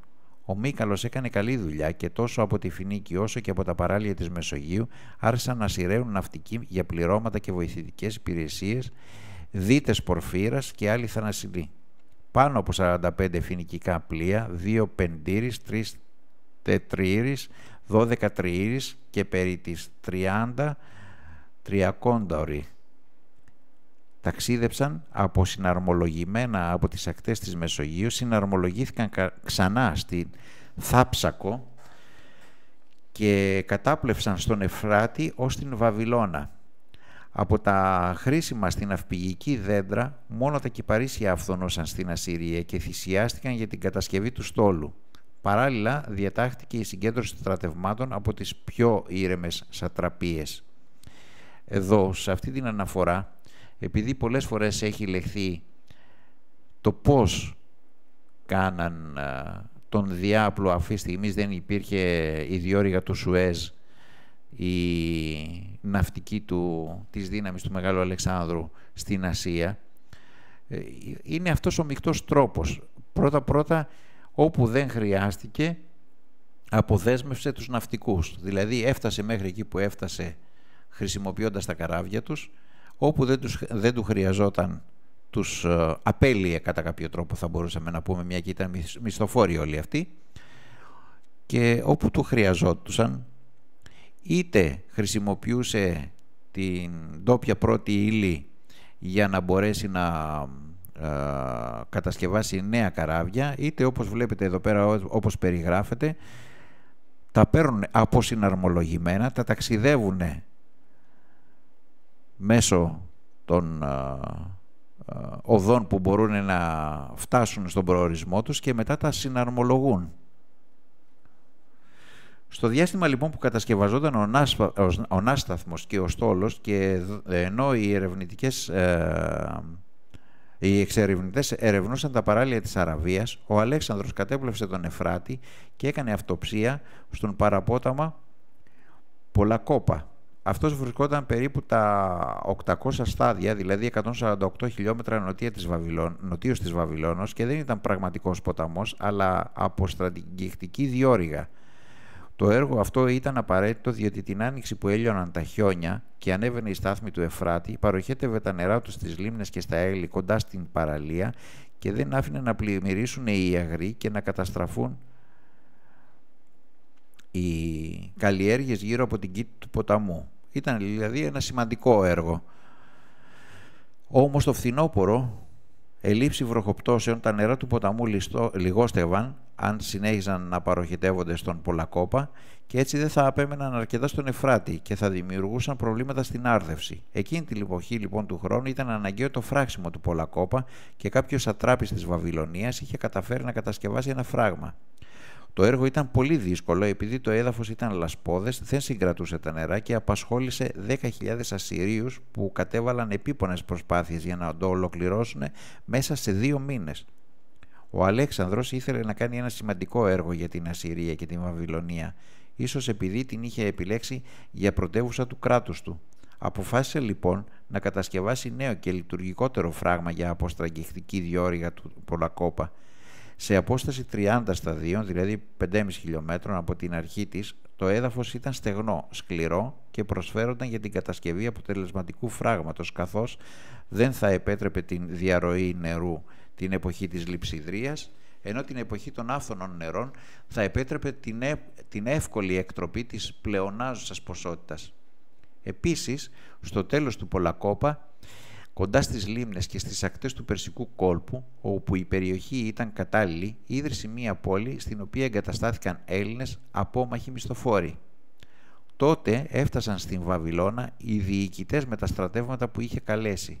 Ήταν ο Πευκέστας με 20.000 περίπου Πέρσες στρατιώτες και αρκετούς από τους οποίους ήταν γείτονες ε, με αυτούς τους ε, πολεμικούς ε, λαούς, τους Κοσέους και τους Τάπουρους. Ο Φιλόξενος ήρθε από την Καρία με μια σημαντική στρατιά, ο Μένανδρος από τη Λιδία και αυτός με αρκετό στρατό καθώς και ο Μενίδας με τους υπείς του από τα Εκβάτανα. Ο Αλέξανδρος επένεσε τους Πέρσες για την προθυμία τους να πολεμήσουν υπό τις διαταγές του και για την υπακοή τους στον Πευκέστα, τον οποίο συνεχάρει για την αποτελεσματικότητά του ως σατράπη της Περσίδος.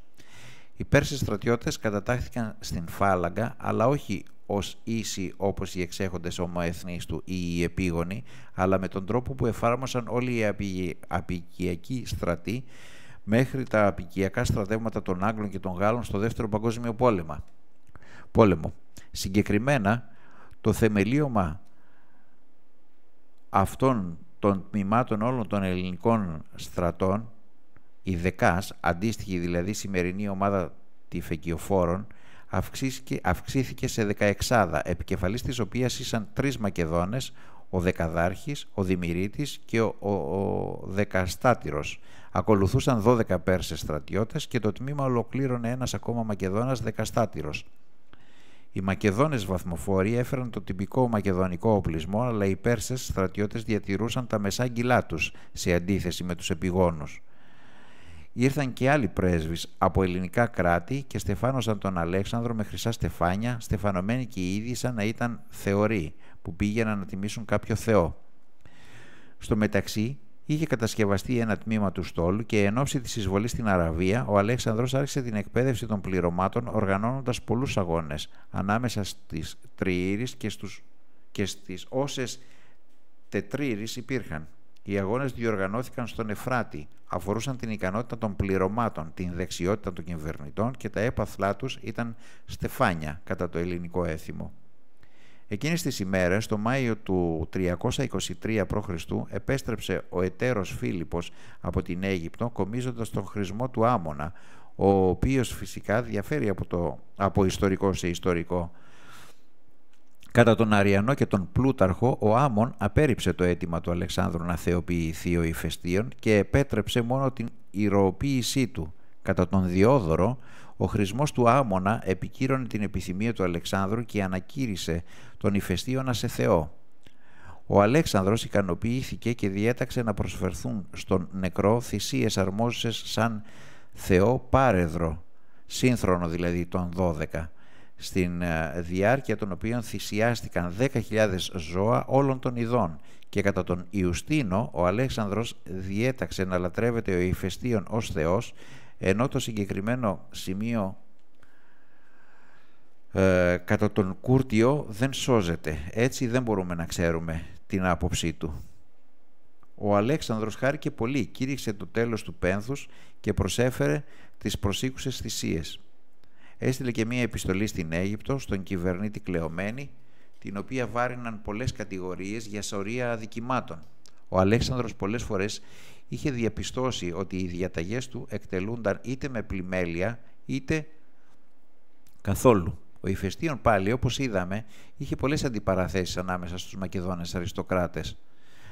Όσοι από αυτούς είχαν παραμείνει ως αξιωματούχοι στην Αίγυπτο, μακριά από την ασιατική αντίληψη της Νέας Αυλής, ίσως αναζητούσαν τρόπο να τιμωρήσουν τον Ηφαιστίωνα, έστω και μετά θάνατον. Για τον λόγο αυτό, ο Αλέξανδρος ανέθεσε στην σκοτεινή φυσιογνωμία του κλεωμένη την υλοποίηση των σχετικών εντολών, δελεάζοντάς τον με γενική αμνηστία για όλα όσα είχε διαπράξει και για, το, και για όσα τυχόν θα διέπρατε στο μέλλον. Ο Αριανός κατέγραψε μόνο την ωφέλεια που θα είχε αν επετύχανε, όχι όμως και τις συνέπειες που θα υφίστατο ο κλεωμένος αν αποτύχανε στην αποστολή του. Βέβαια, οι συνέπειες ήταν τόσο αναμενόμενες βάσει των όλων όσων είχαν προηγηθεί, ώστε είναι πιθανό ο Αλέξανδρος να μην αναφερόταν καν ως ευκολώς εννοούμενες. Η αλήθεια είναι ότι ο Κλεωμένης επιφορτιζόταν με πάρα πολύ δύσκολο έργο προκειμένου να κερδίσει την αμνηστία για τα εγκλήματά του. Έπρεπε να κατασκευάσει στη μνήμη του ηφαιστίωνα δύο μνημεία απαράμιλα σε μέγεθος και σε πολυτέλεια, ένα στην Αλεξάνδρεια και άλλο ένα στο νησάκι Φάρος, όπου αργότερα επρόκειτο να χτιστεί ένα από τα 7 θαύματα του αρχαίου κόσμου, ο Φάρος της Αλεξανδρίας. Μια πολύ σημαντική πληροφορία είναι ότι με την ίδια επιστολή ο Αλέξανδρος διέτασε να χρησιμοποιείται το όνομα του Ηφαιστίωνα για την χρονολόγηση. Στην αρχαιότητα χρησιμοποιούσαν κάποια πρόσωπα για την χρονολόγηση των συνθήκων, των συμφωνιών, αλλά και των συμβολέων και κάθε άλλης αστικής ή εμπορικής πράξης. Έτσι, οι Αθηναίοι χρησιμοποιούσαν τους επώνυμους άρχοντες, οι Μακεδόνες τους βασιλιάδες τους και το αχεμενιδικό κράτος τους Πέρσες βασιλείς. Ήταν πολύ σημαντική η καταγραφόμενη πρόθεση του Αλεξάνδρου να χρησιμοποιηθεί ως βάση χρονολόγησης στο όνομα του Ηφαιστίωνα, διότι τον εξομοίωνε με ανώτατο πολιτιακό άρχοντα εν ζωή. Έτσι να περάσουμε και στο θάνατο του Αλεξάνδρου, όπως περιγράφεται κατά τον Αριανό, τον Πλούταρχο Αλέξανδρο, το περί της Αλεξάνδρου Τύχης Ιαρετής, τον Διόδωρο, τον Κούρτιο και τον, Ιωστού, τον Ιουστίνο. Από τους Ιωνούς που αναφέρουν οι ελληνικές πηγές για τον επερχόμενο θάνατο του Αλεξάνδρου, ο παρακάτω είναι πολύ ενδιαφέρον. Κάποια φορά στη Βαβυλώνα, όταν ο Αλέξανδρος έπαιζε σφαίρα, κάτι σαν τη σημερινή χειρόσφαιρα, με τους πέδες της βασιλικής ακολουθίας, κάθισε στο θρόνο του κάποιος άγνωστος, που είχε προλάβει μάλιστα να φορέσει το διάδημα και τη βασιλική στολή. Στην αρχή δεν απαντούσε στις ερωτήσεις, αλλά μετά από λίγο συνήλθε και είπε ότι λεγόταν Διονύσιος, ήταν Μεσίνιος, είχε καταδικαστεί για κάποιο αδίκημα και τον είχαν οδηγήσει σιδεροδέσμιο δια της θαλάσσης ως τα, ως τα κοντινά παράλια. Εκεί του παρουσιάστηκε ο Σάραπης, του έλυσε τα δεσμά, τον οδήγησε στο σημείο όπου έπαιζε σφαίρα ο Αλέξανδρος και τον διέταξε να, φορά, να φορέσει το διάδημα, την βασιλική στολή και να καθίσει σιωπηλό στο θρόνο. Ο Αλέξανδρος διέταξε να, να σκοτώσουν τον παράξενο αυτό άνθρωπο, όπως τον συμβούλευσαν οι μάντις, ώστε τα κακά σημάδια να πέσουν πάνω στο κεφάλι του δραπέτη και όχι στο δικό του. Αυτή είναι η εκδοχή του Πλουτάρχου, αλλά και του Διόδωρου είναι σχεδόν πανομοιότυπη. Κατά αυτήν, ο Δραπέτης δεν ήταν Πελοποννήσιος, αλλά ήταν ντόπιος και μετά την εκτέλεσή του ο Αλέξανδρος προσέφερε θυσίες στους αποτρόπαιους θεούς, δηλαδή σε εκείνους που σύμφωνα με την αρχαία ελληνική θρησκεία απέτρεπαν και προστάτευαν από το κακό. Ο Αριανός αναφέρει ότι ο Αλέξανδρος καθόταν με τους εταίρους και μοιράζονταν τις τάξεις των Μακεδόνων τις δυνάμεις που μόλις είχαν φέρει στην Βαβυλώνα ο Πευκέστας, ο Φιλόξας, ο Φιλόξενος και ο Μενίδας. Κάποια στιγμή ο Αλέξανδρος και οι εταίροι του απομακρύθηκαν και ένας άγνωστος καταδικασμένος σε περιορισμό χωρίς δεσμά γλίστρισε ανάμεσα στους ευνούχους και κάθισε στο θρόνο. Όταν τον αντιλήφθηκαν, ο Αλέξανδρος φοβήθηκε συνωμοσία και διέταξε να βασανίσουν τον παράξενο άνθρωπο μέχρι να ομολογήσει. Εκείνος επέμενε ότι το έκανε σπρωγμένος από μια παρόρμηση και οι μάντις γνωμάτευσαν ότι δεν προμηνιόταν τίποτα καλό ο Αριανός δεν αναφέρει την τύχη του πρωταγωνιστή. Κοινό γνώρισμα στις παραλλαγές αυτές είναι ότι κάποιος κατάδικος κατόρθωσε να περάσει από τους άνδρες της προσωπικής ασφαλείας του βασιλέως των βασιλέων με τους αναρρύθμιτους εχθρούς και να καθίσει ανενόχλητο στο θρόνο. Οι αρχαίοι αναγνώστες δεν έβλεπαν κάποια αντίφαση ούτε δυσκολεύονταν να το πιστέψουν, διότι ακριβώς έτσι είναι ο Ιωνός. Ένας κατάδικος κατάφερε να περάσει από τα δρακόντια μέτρα ασφαλείας και να καθίσει στον θρόνο του κοσμοκράτορα καθοδηγούμενος από κάποιον Θεό που ήθελε να δώσει ένα μήνυμα.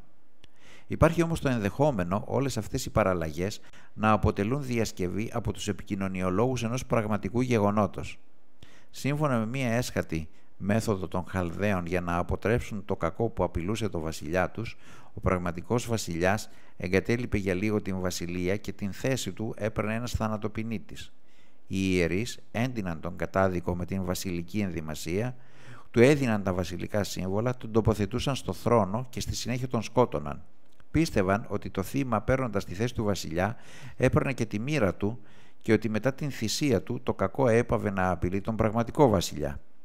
Αυτή η τελετουργία παρά ήταν βάρβαρη για τα ελληνικά δεδομένα και ήταν απολύτως αδύνατο να καταγραφεί με ακρίβεια και ίσως για αυτό οι παραλλαγές του Πλουτάρχου και του Διόδωρου παραλείπουν την πραγματική αιτία της ανθρωποθυσίας.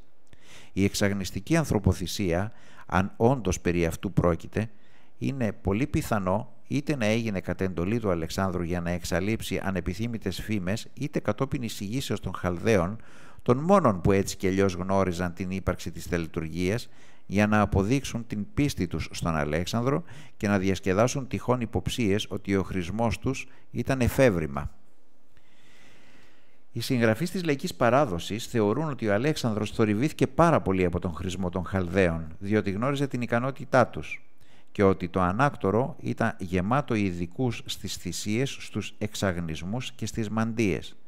Η χαλδαϊκή ανθρωποθυσία ταιριάζει μεν με την εικόνα αυτή, αντικρούεται δε από την εικόνα του Αλεξάνδρου που δίνει ο Αριανός και πάνω από όλα δεν επιβεβαιώνεται από το ημερολόγιο της αυλής στο οποίο βασίζονται ο Αριανός και ο Πλούταρχος. Στο ημερολόγιο της αυλής δεν καταγράφεται κανένας θήτης, καθάρτης ή μάντης να δίνει συμβουλές. Αντίθετα, ο Αλέξανδρος περιγράφεται όπως ακριβώς θα περιμέναμε να περιγράφεται ένας σπουδαίος στρατηγός που αρρώστησε κατά τη διάρκεια μιας μεγάλης κλίμακας κινητοποίησης με σκοπό την απόβαση και εισβολή. Με βάση τις βασίλειες εφημερίδες βλέπουμε τον Αλέξανδρο να προσφέρει καθημερινά θυσίες όπως το συνήθιζε και όχι όπως του το υποδείγνυαν οι μάντις και να συσκέπτεται διαρκώς με τους ανώτατους αξιωματικούς. Ο Πλούταρχος, ακολουθώντας το ημερολόγιο της αυλής, υποχρεώνεται να ακυρώσει τις προηγούμενες περιγραφές του, οι περιγραφές του ότι η δυσιδαιμονία ενστάλαξε στον Αλέξανδρο ανοησία και φόβο. Ενώ λοιπόν τα περί δυσιδαιμονίας δεν τεκμηριώνονται από τα επίσημα αρχεία, οι διασκεδάσεις και οι εινοποσίες δεν αφισβητούνται από καμία πηγή. Μετά την αφθάδεια των Μακεδόνων στον Όπι για τον θάνατο του Ηφαιστίωνα, ο Αλέξανδρος δεν είχε καμία ψευδέστηση για τη θέση του. Δεν του είχε απομείνει κανένας φίλος. Διέθετε μόνο συνεργάτες, των οποίων την υπακοή έπρεπε να την εξασφαλίζει με απειλές ή ανταλλάγματα και να φαίνεται ότι, και φαίνεται ότι είχε επιλέξει το ενόπνευμα ως αντίβαρο στη μοναξιά του. Στο μεταξύ, οι προετοιμασίες για την εισβολή στην Αραβία προχωρούσαν με τους πολύ γνωστούς ταχύς ρυθμούς και τα πράγματα σε όλη την αυτοκρατορία ήσαν υπό έλεγχο. Δεν είχε περάσει πολύς καιρός από την ανακήρυξη του ηφαιστίωνα σε ήρωα, ήρωα και την λήξη του πένθους όταν κατά τον Αριανό ο Αλέξανδρος θυσίασε στους θεούς εν ώψη της νέας εκστρατείας. Μοίρασε τα σφάγια και κρασί στους στρατιώτες του αναλόγους και εκατοστίες και διασκέδασε πίνοντας με τους φίλους του μέχρι πολύ αργά τη νύχτα. Κατά τον Πλούταρχο, ο Αλέξανδρος παρέθεσε δείπνο προς τιμήν του νέαρχου. Ανεξάρτητα πάντως από την αφορμή για την αρχική διασκέδαση, όλες οι αρχαίες πηγές συμφωνούν ότι κάποια στιγμή αργότερα θέλησε να πάει για ύπνο. Αλλά ο Θεσσαλός Μίδιος, ένας από τους πλησιέστερους σε αυτόν εταίρους στην εποχή εκείνη, τον παρακάλεσε να διασκεδάσει μαζί τους, διότι θα ακολουθούσε ένας πολύ καλός κόμος. Αφού λοιπόν γλέντισε με τον Μίδιο και ήπια μέχρι πολύ αργά τη νύχτα, έφυγε από την Ινοποσία, λούστησε, λούστηκε και κοιμήθηκε στο λουτρό, διότι ήδη είχε πυρετό. Από αυτό το σημείο, ο Αριανός και ο Πλούταρχος βασίστηκαν στις βασίλειες εφημερίδες για αυτό, οι διηγήσεις τους σχεδόν ταυτίζονται. Όμως οι περισσότεροι αρχαίοι συγγραφείς είτε δεν διάβασαν το ημερολόγιο της αυλής, είτε δεν το βρήκαν τις αρισκίες τους και έτσι έγραψαν τις προσωπικές τους εκδοχές. Κάποιοι από όσους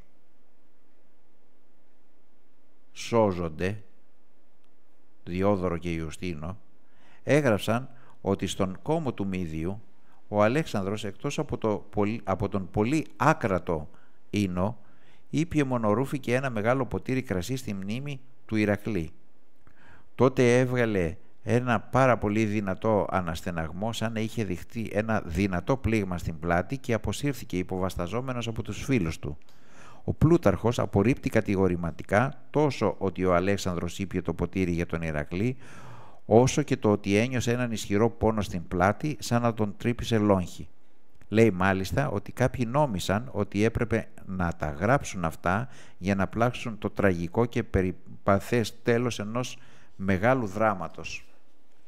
Όσο για την θρυλούμερη υπερβολική κατανάλωση κρασιού, την αποδίδει σε δύο κοσημίες πληροφορίες του Αριστόβουλου, ότι ο Αλέξανδρος για να ανακουφιστεί από την δίψα που προκάλεσε ο υψηλός πυρετός, ήπιε κρασί και επήλθε το μοιραίο. η ευρύτερη διαδεδομένη εκδοχή για το θάνατο του Αλεξάνδρου υπήρξε, υπήρξε ότι η, υπήρξε η δηλητηρίαση και το πιο ολοκληρωμένο σενάριο προκύπτει συνδυαστικά από τις αρχαίες πηγές είτε το αποδέχονται είτε το απορρίπτουν ως εξής.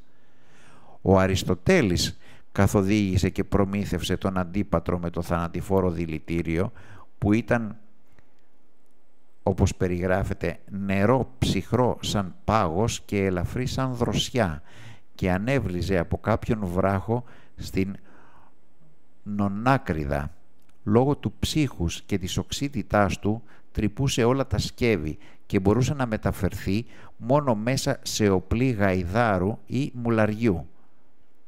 Ο Αντίπατρος έδωσε το δηλητήριο στο γιο του Κάσανδρο που το μετέφερε στην Βαβυλώνα και το παρέδωσε στον Ιόλα, αδερφό του και βασιλικό Ινίοχο. Μερικοί αναμειγνύουν στην συνωμοσία και τον Μίδιο που ήταν και εραστής του Ιόλαου που είχε προσκαλέσει τον Αλέξανδρο στον κόμο και όπου πρέπει να ληφθεί υπόψη ότι κάποια στιγμή είχε γίνει ένα γεγονός μεταξύ του Αλεξάνδρου και του Ιόλαου και αυτό είχε δυσαρεστήσει το Μίδιο, άρα αφήνεται και το ενδεχόμενο το ότι ο Μίδιος μπορεί να είχε και αυτός τους δικούς του λόγους να έχει συμμετάσχει στην συνωμοσία αυτή. Αν εξετάσουμε όμως επίσης αυτό που λέγεται ότι το δηλητήριο ήταν τόσο πολύ ε, οξύ που μπορούσε να τρυπήσει όλα τα άλλα σκεύη αλλά μπορούσε να μεταφερθεί μόνο μέσα σε οπλή γαϊδάρου ή μουλαριού δεν εννοούν την οπλή του ζώου ως ζωντανό αλλά ότι είχαν κατασκευάσει ένα δοχείο που ήταν σκαλισμένο από πλή τέτοια. Αν εξετάσουμε λοιπόν ένα προς ένα τους υποτιθέμενους συνομότες, η όλη θεωρία της δηλητηρίασης μοιάζει με εφάνταστο σενάριο κινηματογραφικής ταινίας. Ο διάσημος φιλόσοφος Αριστοτέλης, με τον οποίο είχε ψυχραθεί ακόμα και ο πιο διάσημος βασιλιάς και παλιός μαθητής του, υποτίθεται ότι τον προμήθευσε το δηλητήριο το οποίος ήταν ο λόγος, διότι ένα από τα θύματα του Μεγάλου Αλεξάνδρου ε,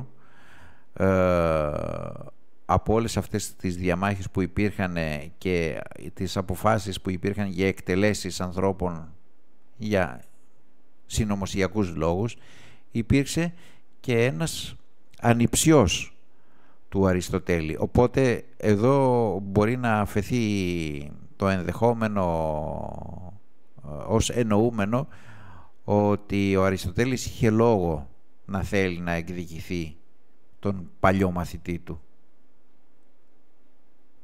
Θεωρήθηκε αυτονόητο ότι αφού ο ίδιος δίδασκε τις ακροατικές επιστήμες και ένας άλλος μαθητής του, ο Θεόφραστος, είχε γνώσεις βοτανολογίας, δεν μπορεί παρά να ήξεραν από δηλητήρια.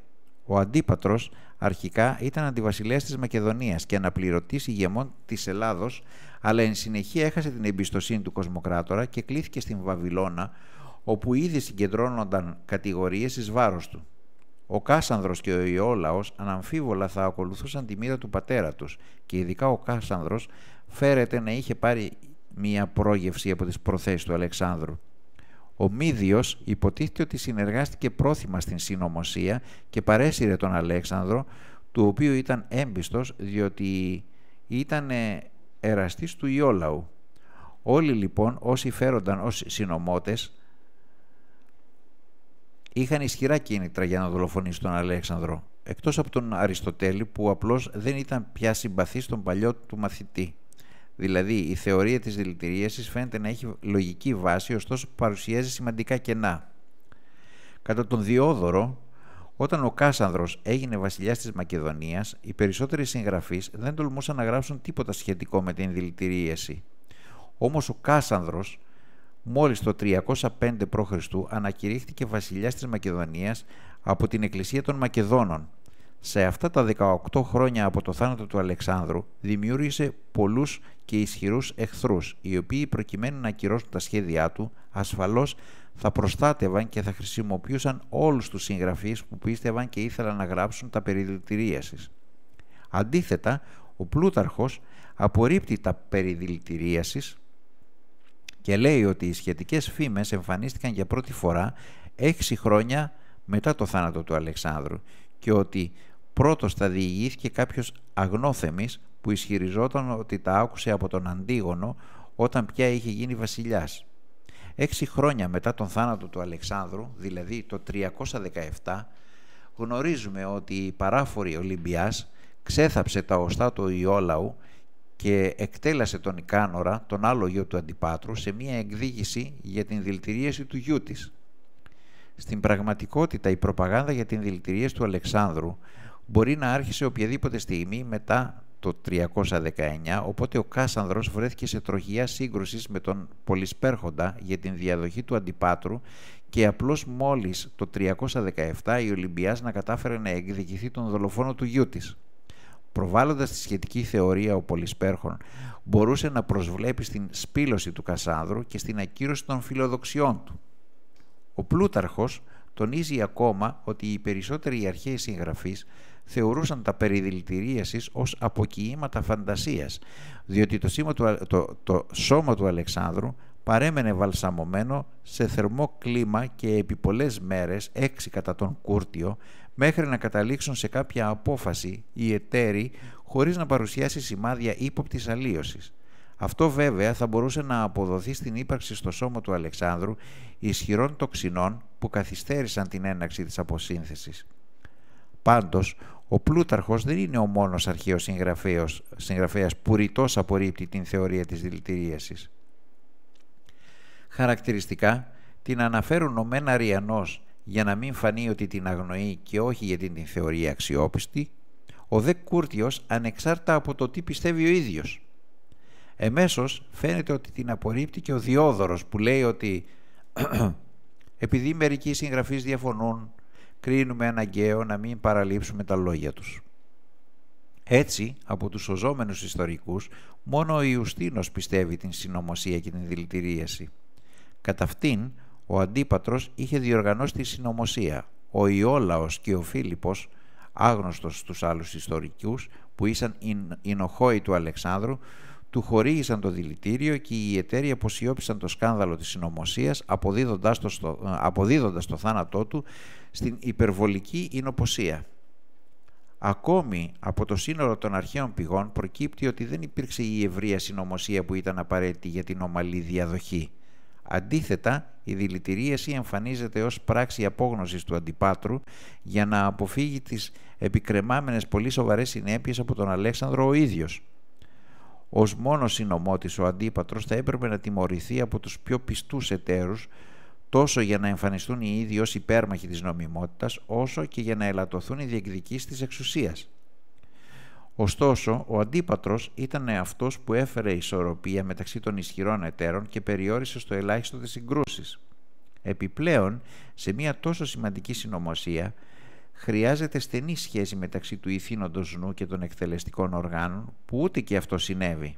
Αντίθετα, ο Αντίπατρος, ο υποτιθέμενος ηθήνων νους, προσέβαλε με τον πιο βάναυσο τρόπο τον Κάσανδρο, τον ιό του και υποτιθέμενο μεταφορέα του δηλητηρίου, παναγωνίζοντάς τον και ορίζοντας ως διάδοχό του τον Πολυσπέρχοντα. Εν ολίγης, η θεωρία της δηλητηρίασης του Αλεξάνδρου είναι μεν λογικοφανής, αλλά δεν επαληθεύεται από τα ιστορικά γεγονότα. Παράλληλα βέβαια όμως θα μπορούσαμε να πούμε ότι αυτή η κίνηση του Αντιπάτρου να παραγωνίσει τον ε, γιο του τον Κάσανδρο ως μεταφορέα ε, και να μην τον κάνει διάδοχο θα μπορούσε να έχει και μία άλλη διάσταση για να αποσοβήσει και να απομακρύνει τις οποιασδήποτε αρνητικές επιπτώσεις έναντί του δείχνοντας ότι δεν είχαν στόχο να βγάλουν από τη μέση τον Αλέξανδρο για να πάρουν αυτή την ε, βασιλεία. Ποιος ξέρει.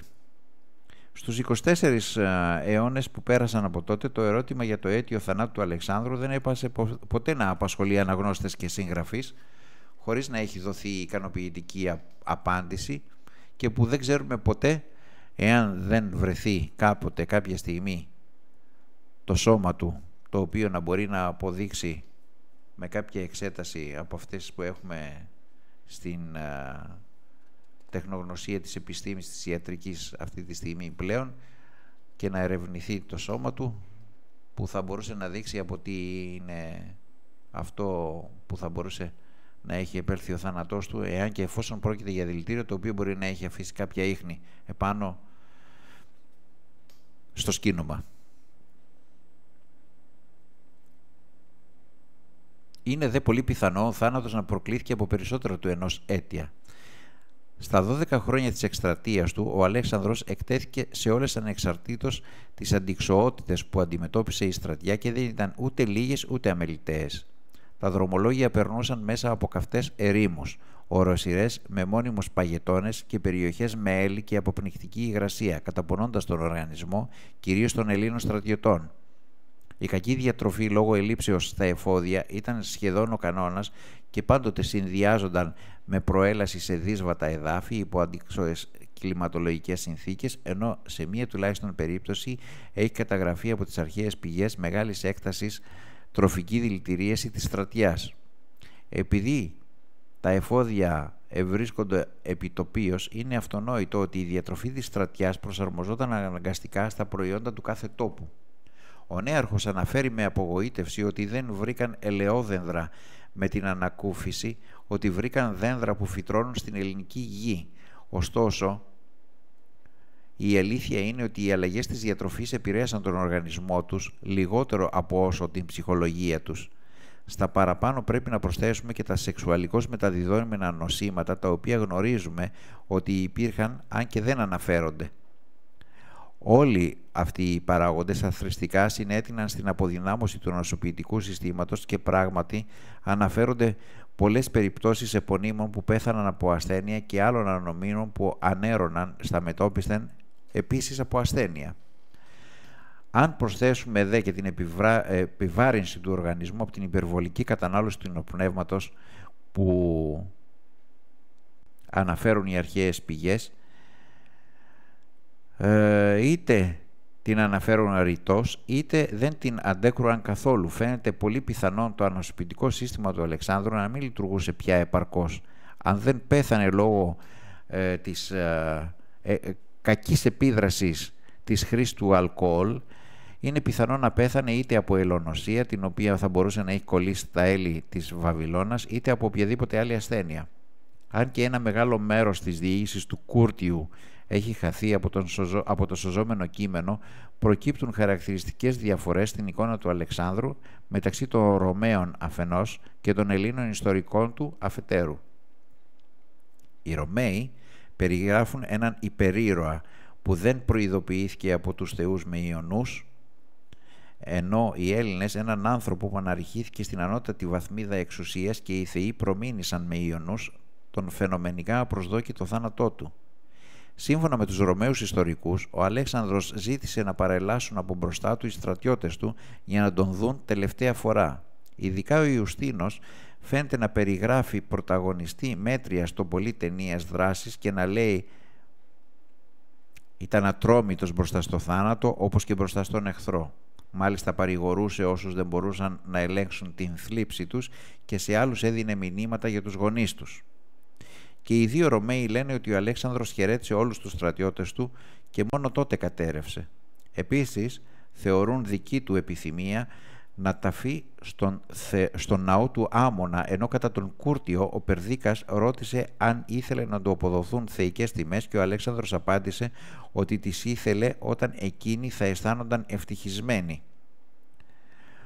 Όταν φάνηκε πια ότι η κατάσταση της υγείας του δεν ήταν αναστρέψιμη, λέγεται ότι οι εταίροι ρώτησαν τον Αλέξανδρο σε ποιον άφηναν τον θρόνο, σε ποιον άφηνε τον θρόνο και ότι εκείνος απάντησε το κρατήστο που ερμηνεύεται διφορούμενο ως στον καλύτερο ή στον ισχυρότερο.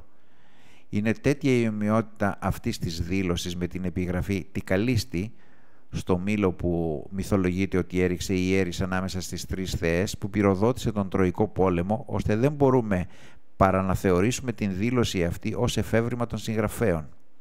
Η πεποίθηση αυτή ενισχύεται περισσότερο από την συμπληρωματική δήλωση που απέδεσαν στον Αλέξανδρο διάφορες συγγραφείς και ανάμεσά τους ο Διόδωρος, ο Κούρτιος και ο Ιουστίνος. Έγραψαν λοιπόν ότι ο Αλέξανδρος λίγο πριν ξεψυχήσει προέβλεψε ή ζήτησε να γίνει μεγάλος επιτάφιος αγώνας μεταξύ των φίλων του.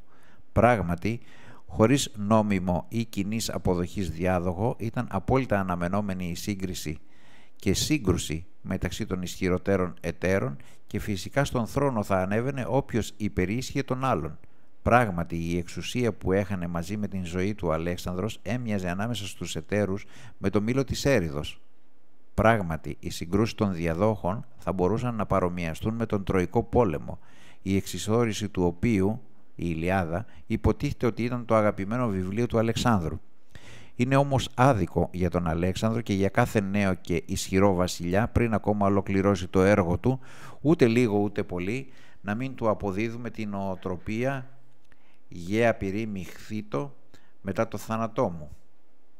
Η ευθεντικότητα της δήλωσης περί του κρατήστου αποδυναμώνεται από τον ισχυρισμό των ιδίων ιστορικών ενώ, ε, ενώ ταυτοχρόνως ο Αλέξανδρος παρέδωσε το βασιλικό δαχτυλίδι του στον Περδίκα, υποδηλώνοντας σαφώς ότι τον προτιμούσε ως διάδοχο. Εάν πράγματι προτιμούσε τον Περδίκα, έπρεπε να το πει ξεκάθαρα και λόγω της αυστηρότητας του χαρακτήρα του, ασφαλώς θα ισχυροποιούσε τη θέση του εκλεκτού του. Αν πίστευε ότι ο Περδίκας δεν θα γινόταν αποδεκτός από τους υπόλοιπους και αυτό θα ακολουθούσε, γι' αυτό θα ακολουθούσε ο επιτάφιος αγών, δεν υπήρχε κανένας λόγος να επιδείξει μια προτίμηση που δεν μπορούσε να επιβάλλει.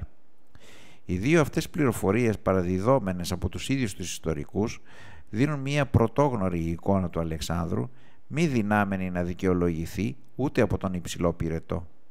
Το γεγονός είναι ότι ο θάνατος βρήκε τον Αλέξανδρο ευνηδιαστικά και φυσικά χωρίς διάδοχο ή αντικαταστάτη.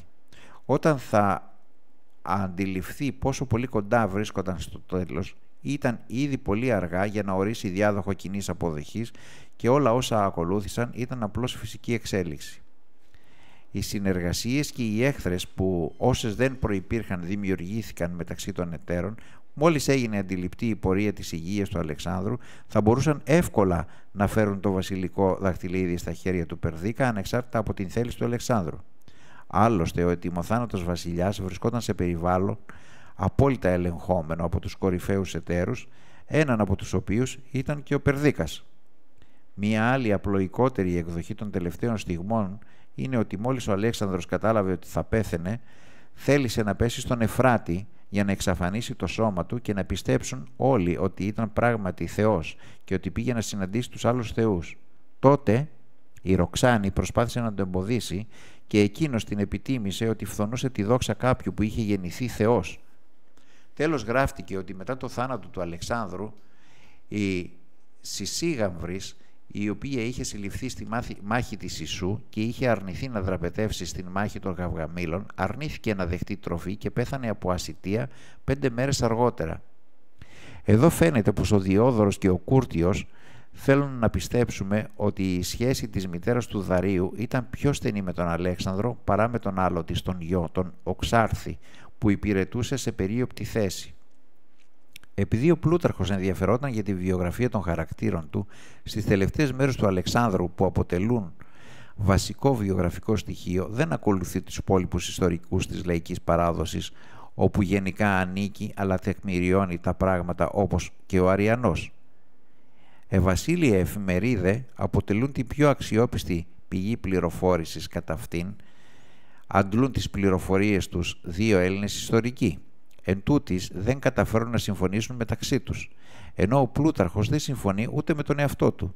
Παρά τα αυτά, οι διαφορές είναι άνευ ουσιώδους σημασίας και η συμφωνία των δύο ιστορικών στα σημαντικά σημεία είναι σχεδόν απόλυτη. Κατά τον Αριανό, από τον καθοριστικό κόμμα με τον Μίδιο Οπότε ο Αλέξανδρος παρουσίασε για πρώτη φορά πυρετό. Μετά τον θάνατό του μεσολάβησαν 10 μέρες, ενώ κατά τον Πλούταρχο μεσολάβησαν 12. Η διαφορά στις δύο διηγήσεις είναι ότι τα γεγονότα που θέτει ο Πλούταρχος τα τοποθετεί στην 8η, 9η και 10η μέρα, ο Αριανός θα τοποθετηθεί στην 8η. Ένα ακόμα παράδοξο είναι ότι ο Πλούταρχος λέει σε ένα σημείο ότι ο Αλέξανδρος πέθανε την 30η Δεσίου, δηλαδή 15 Ιουνίου, και αμέσως πιο κάτω, όπου παραθέτει τα γεγονότα αναλυτικά, προσδιορίζει το θάνατό του την 28η Δεσίου, δηλαδή την 13η Ιουνίου. Επίσης ο Πλούταρχος τοποθετεί την ώρα του θανάτου κατά το Σούρουπο, ενώ ο Αριανός φαίνεται να την τοποθετεί κατά το πρωί. Μία άλλη δευτερεύουσα σημασία αναφορά είναι ότι τις τελευταίες μέρες του ο Αλέξανδρος παρέμεινε κατά τον Πλούταρχο μέσα στο λουτρό, ακόμα και κατά τις συνομιλίες, μάλλον για να πέσει ο ψηλός πυρετός του, ενώ κατά τον Αριανό απλώς λουζόταν. Την δεύτερη μέρα, την επόμενη του κόμου, δηλαδή 18η Δεσίου ή 3η Ιουνίου, μεταφέρθηκε κατάκητος πάνω σε κλίνη για να θυσιάσει κατά την καθημερινή του συνήθεια. Τοποθέτησε τις προσφορές στο βωμό. Διατύπωση που ίσως δείχνει ότι δεν μπορούσε να ολοκληρώσει μόνος του τη θυσία και στη συνέχεια κοιμήθηκε στον Ανδρώνα ως το Σούρουπο. Μετά κάλεσε τους διοικητές των μονάδων που συμμετείχαν στην απόβαση στην Αραβία για να τους δώσει διαταγές. Προφανώς θεωρούσε ότι είχε μια περαστική αδιαθεσία ή ότι απλώς είχε κάνει άσημο μεθύση, τα οποία δεν ε, ε, και τα οποία είτε το ένα είτε το άλλο δεν τον άφηναν να επηρεάσει το πρόγραμμά του. Διέταξε λοιπόν τους διοικητές να ξεκινήσουν τα μεν χερσαία τμήματα κατά τέσσερις μέρες, οι δε ναυτικές δυνάμεις μετά πέντε. Μετά την ε, σύσκεψη τον μετέφεραν πάνω στο κρεβάτι του με πλοίο στον Παράδεισο, στην άλλη όχθη του Εφράτη, όπου λούστηκε και ξεκουράστηκε. Την τρίτη μέρα ξαναλούστηκε, θυσίασε όπως την άλλη μέρα και κατάκητος σε κλίνη με ουρανό, πέρασε την ημέρα του κουβεντιάζοντας με τον Μίδιο. Ειδοποίησε τους διοικητές ότι θα τους συναντούσε τον επόμενο, το επόμενο πρωί και δείπνησε λίγο. Από τη στιγμή που τον μετέφεραν στη σκεπαστή κλίνη, ο πυρετός δεν υποχώρησε καθόλου. Την τέταρτη μέρα, αψηφώντας τον πυρετό, συνέχισε το καθημερινό του πρόγραμμα, λούστηκε, θυσίασε και στην προγραμματισμένη συνάντηση με τους στρατιωτικούς διοικητές τους διέταξε να είναι έτοιμοι για απόπλου μετά τρεις μέρες σύμφωνα με, το, με τον αρχικό σχεδιασμό. Την πέμπτη μέρα ο πυρετός εξακολουθούσε, αλλά ο Αλέξανδρος στήρισε απαρέγκλητα το καθημερινό πρόγραμμα. Λούστηκε, θυσίασε και συσκέφτηκε ξανά με τους διοικητές για τις τελευταίες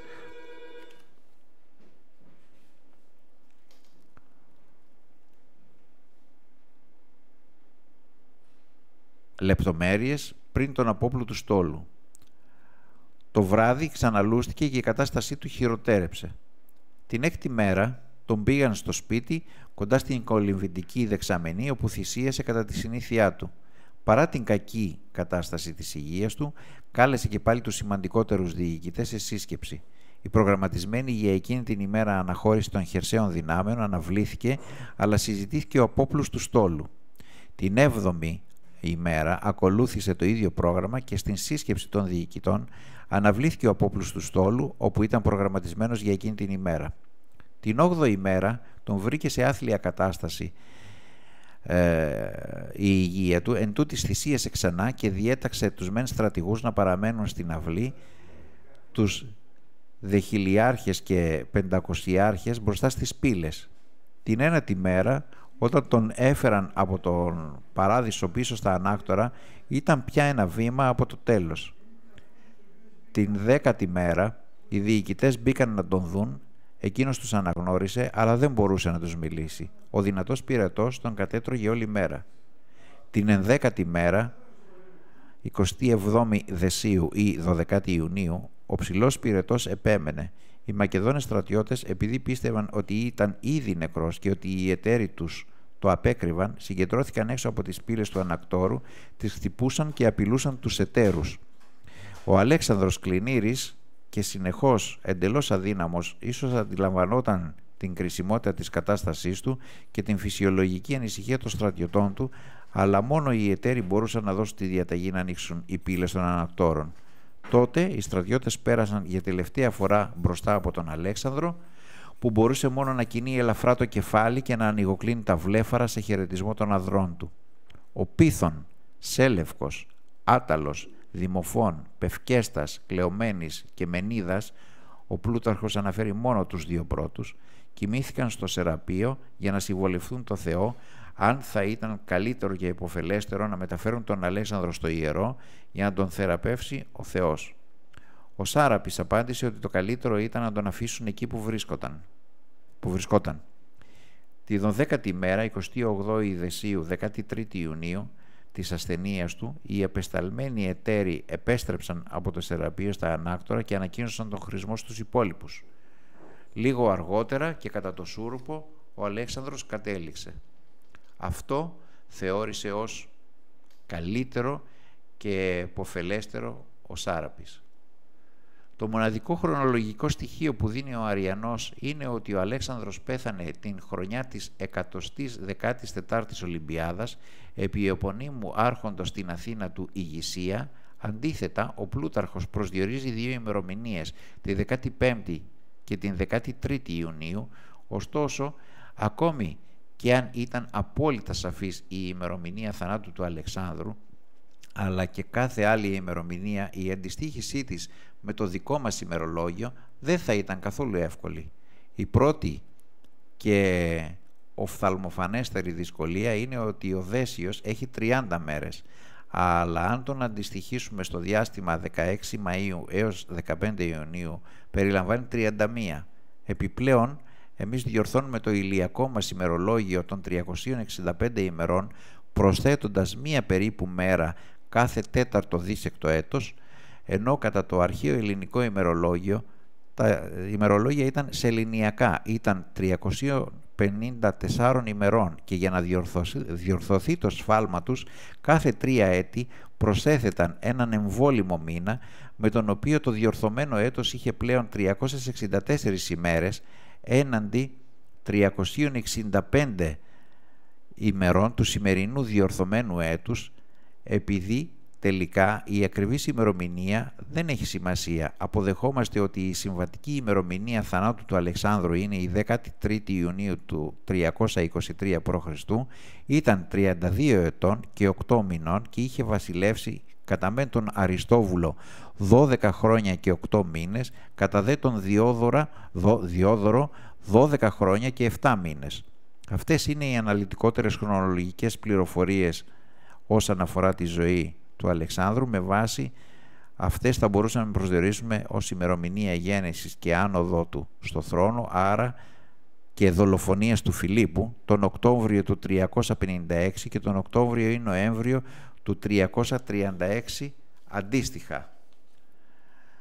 Εδώ θα σας κλείσω τη σημερινή εκπομπή, όχι όμως και ως θέμα, θα επανέλθουμε και την επόμενη εβδομάδα με μία συνέχεια γύρω από τον Αλέξανδρο και τα δρόμενα αυτά διότι υπάρχουν και άλλα να πούμε. Το μόνο πράγμα που θα κάνω εδώ τώρα είναι να σας περιγράψω την νεκρική άμαξα. Ο Διόδωρος ο Σικελιώτης δίνει μία λεπτομερή περιγραφή της αρμάμαξας για την κατασκευή της χρειάστηκαν σχεδόν δύο χρόνια και δαπανήθηκαν πολλά τάλαντα. Πρώτα κατασκευάστηκε ένα φέρετρο από σφυρίλατο χρυσό και το πάνω μέρος από το σώμα το γέμισαν με αρώματα που του έδιναν ευωδία και το διατηρούσαν άφθαρτο. Επάνω στο φέρετρο ήταν απλωμένη μία χρυσοπίκυλτη πορφυρή στολή και τα όπλα του νεκρού. Στο επάνω μέρος της άμαξας κατασκεύασαν έναν χρυσό θόλο που είχε πλάτος 8 πύχης και μήκος 12, σκεπασμένο με πετάλια από πολύτιμους λίθους. Κάτω από την οροφή, καθόλου το μήκος του έργου, υπήρχε ένας θρυγκός χρυσός σε σχήμα τετραγώνου με ανάγλυφες πρωτομές τραγελάφων από τις οποίες κρέμονταν χρυσή κρίκη διπλά, διπάλεμα στους οποίους ήταν κρεμασμένη μία πομπική γυρλάντα διακοσμημένη με λαμπερά χρώματα. Στις άκρες υπήρχαν θύσανοι δικτυωτοί από τους οποίους κρέμονταν καμπάνες και έκαναν αισθητή την διέλευση της άμαξας από πολύ μεγάλη απόσταση. Σε κάθε γωνιά του θόλου, κάθε πλευράς, ήταν ένα άγαλμα χρυσό της νίκης τροπεοφόρου. Η κοινοστοιχεία που στήριζε αυτόν τον θόλο ήταν χρυσή με ιονικά κοιονόκρανα και μέσα στην κοιονοστοιχεία υπήρχε ένα χρυσό δίκτυ που η πλοκή του είχε πάχος ενός δακτύλου και έφερε τέσσερις χρυσ... μεγάλους ζωφόρους πίνακες που ενώνονταν στις άκρες, καθένας ίσως στο μήκος με την αντίστοιχη πλευρά της κοιονοστοιχίας. Ο πρώτος πίνακας παρίστανε ένα πολεμικό άρμα με πάνω του τον Αλέξανδρο κρατώντας ένα λαμπρό σκύπτρο. Γύρω του ήταν οπλισμένοι ακόλουθοι μία ομάδα Μακεδόνων και μία άλλη περσών μιλοφόρων που είχε μπροστά από αυτούς Μακεδόνες στρατιώτες. Ο δεύτερος πίνακας έδειχνε ελέφαντες σε πολεμική εξάρτηση με Ινδούς αναβάτες, ακολουθούμενος επίσης από στρατιώτες. Ο τρίτος πίνακας έδειχνε ύλες υπηκού σε σχηματισμό μάχης και ο τέταρτος πλοία έτοιμα για ναυμαχία. Την είσοδο πλαισίωναν δύο ολόχρυσα λιοντάρια. Σε κάθε κύωνα μία χρυσή άκανθα πλέκονταν από τη βάση του ως την κορυφή, από την κάμαρα της εισόδου κρέμονταν μία πορφυρή σημαία με ένα μεγάλο χρυσό στεφάνι ελιάς που φαίνονταν να στράφτει από πολύ μεγάλη απόσταση. Η άμαξα είχε δύο άξονες και η τροχή ήταν περσικού τύπου με επίχρησες πλήμνες και ακτίνες. Στο μέσον του μήκους των αξώνων υπήρχε κατάλληλη στήριξη, σαν ανάρτηση δηλαδή, ώστε ο θάλαμος να παραμένει ασάλευτος στα τραντάγματα από τις ανομαλίες του δρόμου. Η άμαξα είχε τέσσερα τιμόνια και σε κάθε τιμόνι ήταν ζεμένες τέσσερις σειρές από τέσσερις ημίωνους, ώστε ο συνολικός αριθμός των ημίωνων έφτανε τους 64. Κάθε ημίωνος ήταν στεφανωμένος με χρυσό στεφάνι και από το σαγόνι του κρέμονταν χρυσό κουδούνι και τον τράχυλο είχε λιθοκόλλητη λεμαριά. Οι αρμάμαξα συνοδεύονταν από πλήθος τεχνητών, οδοποιών και στρατιωτών.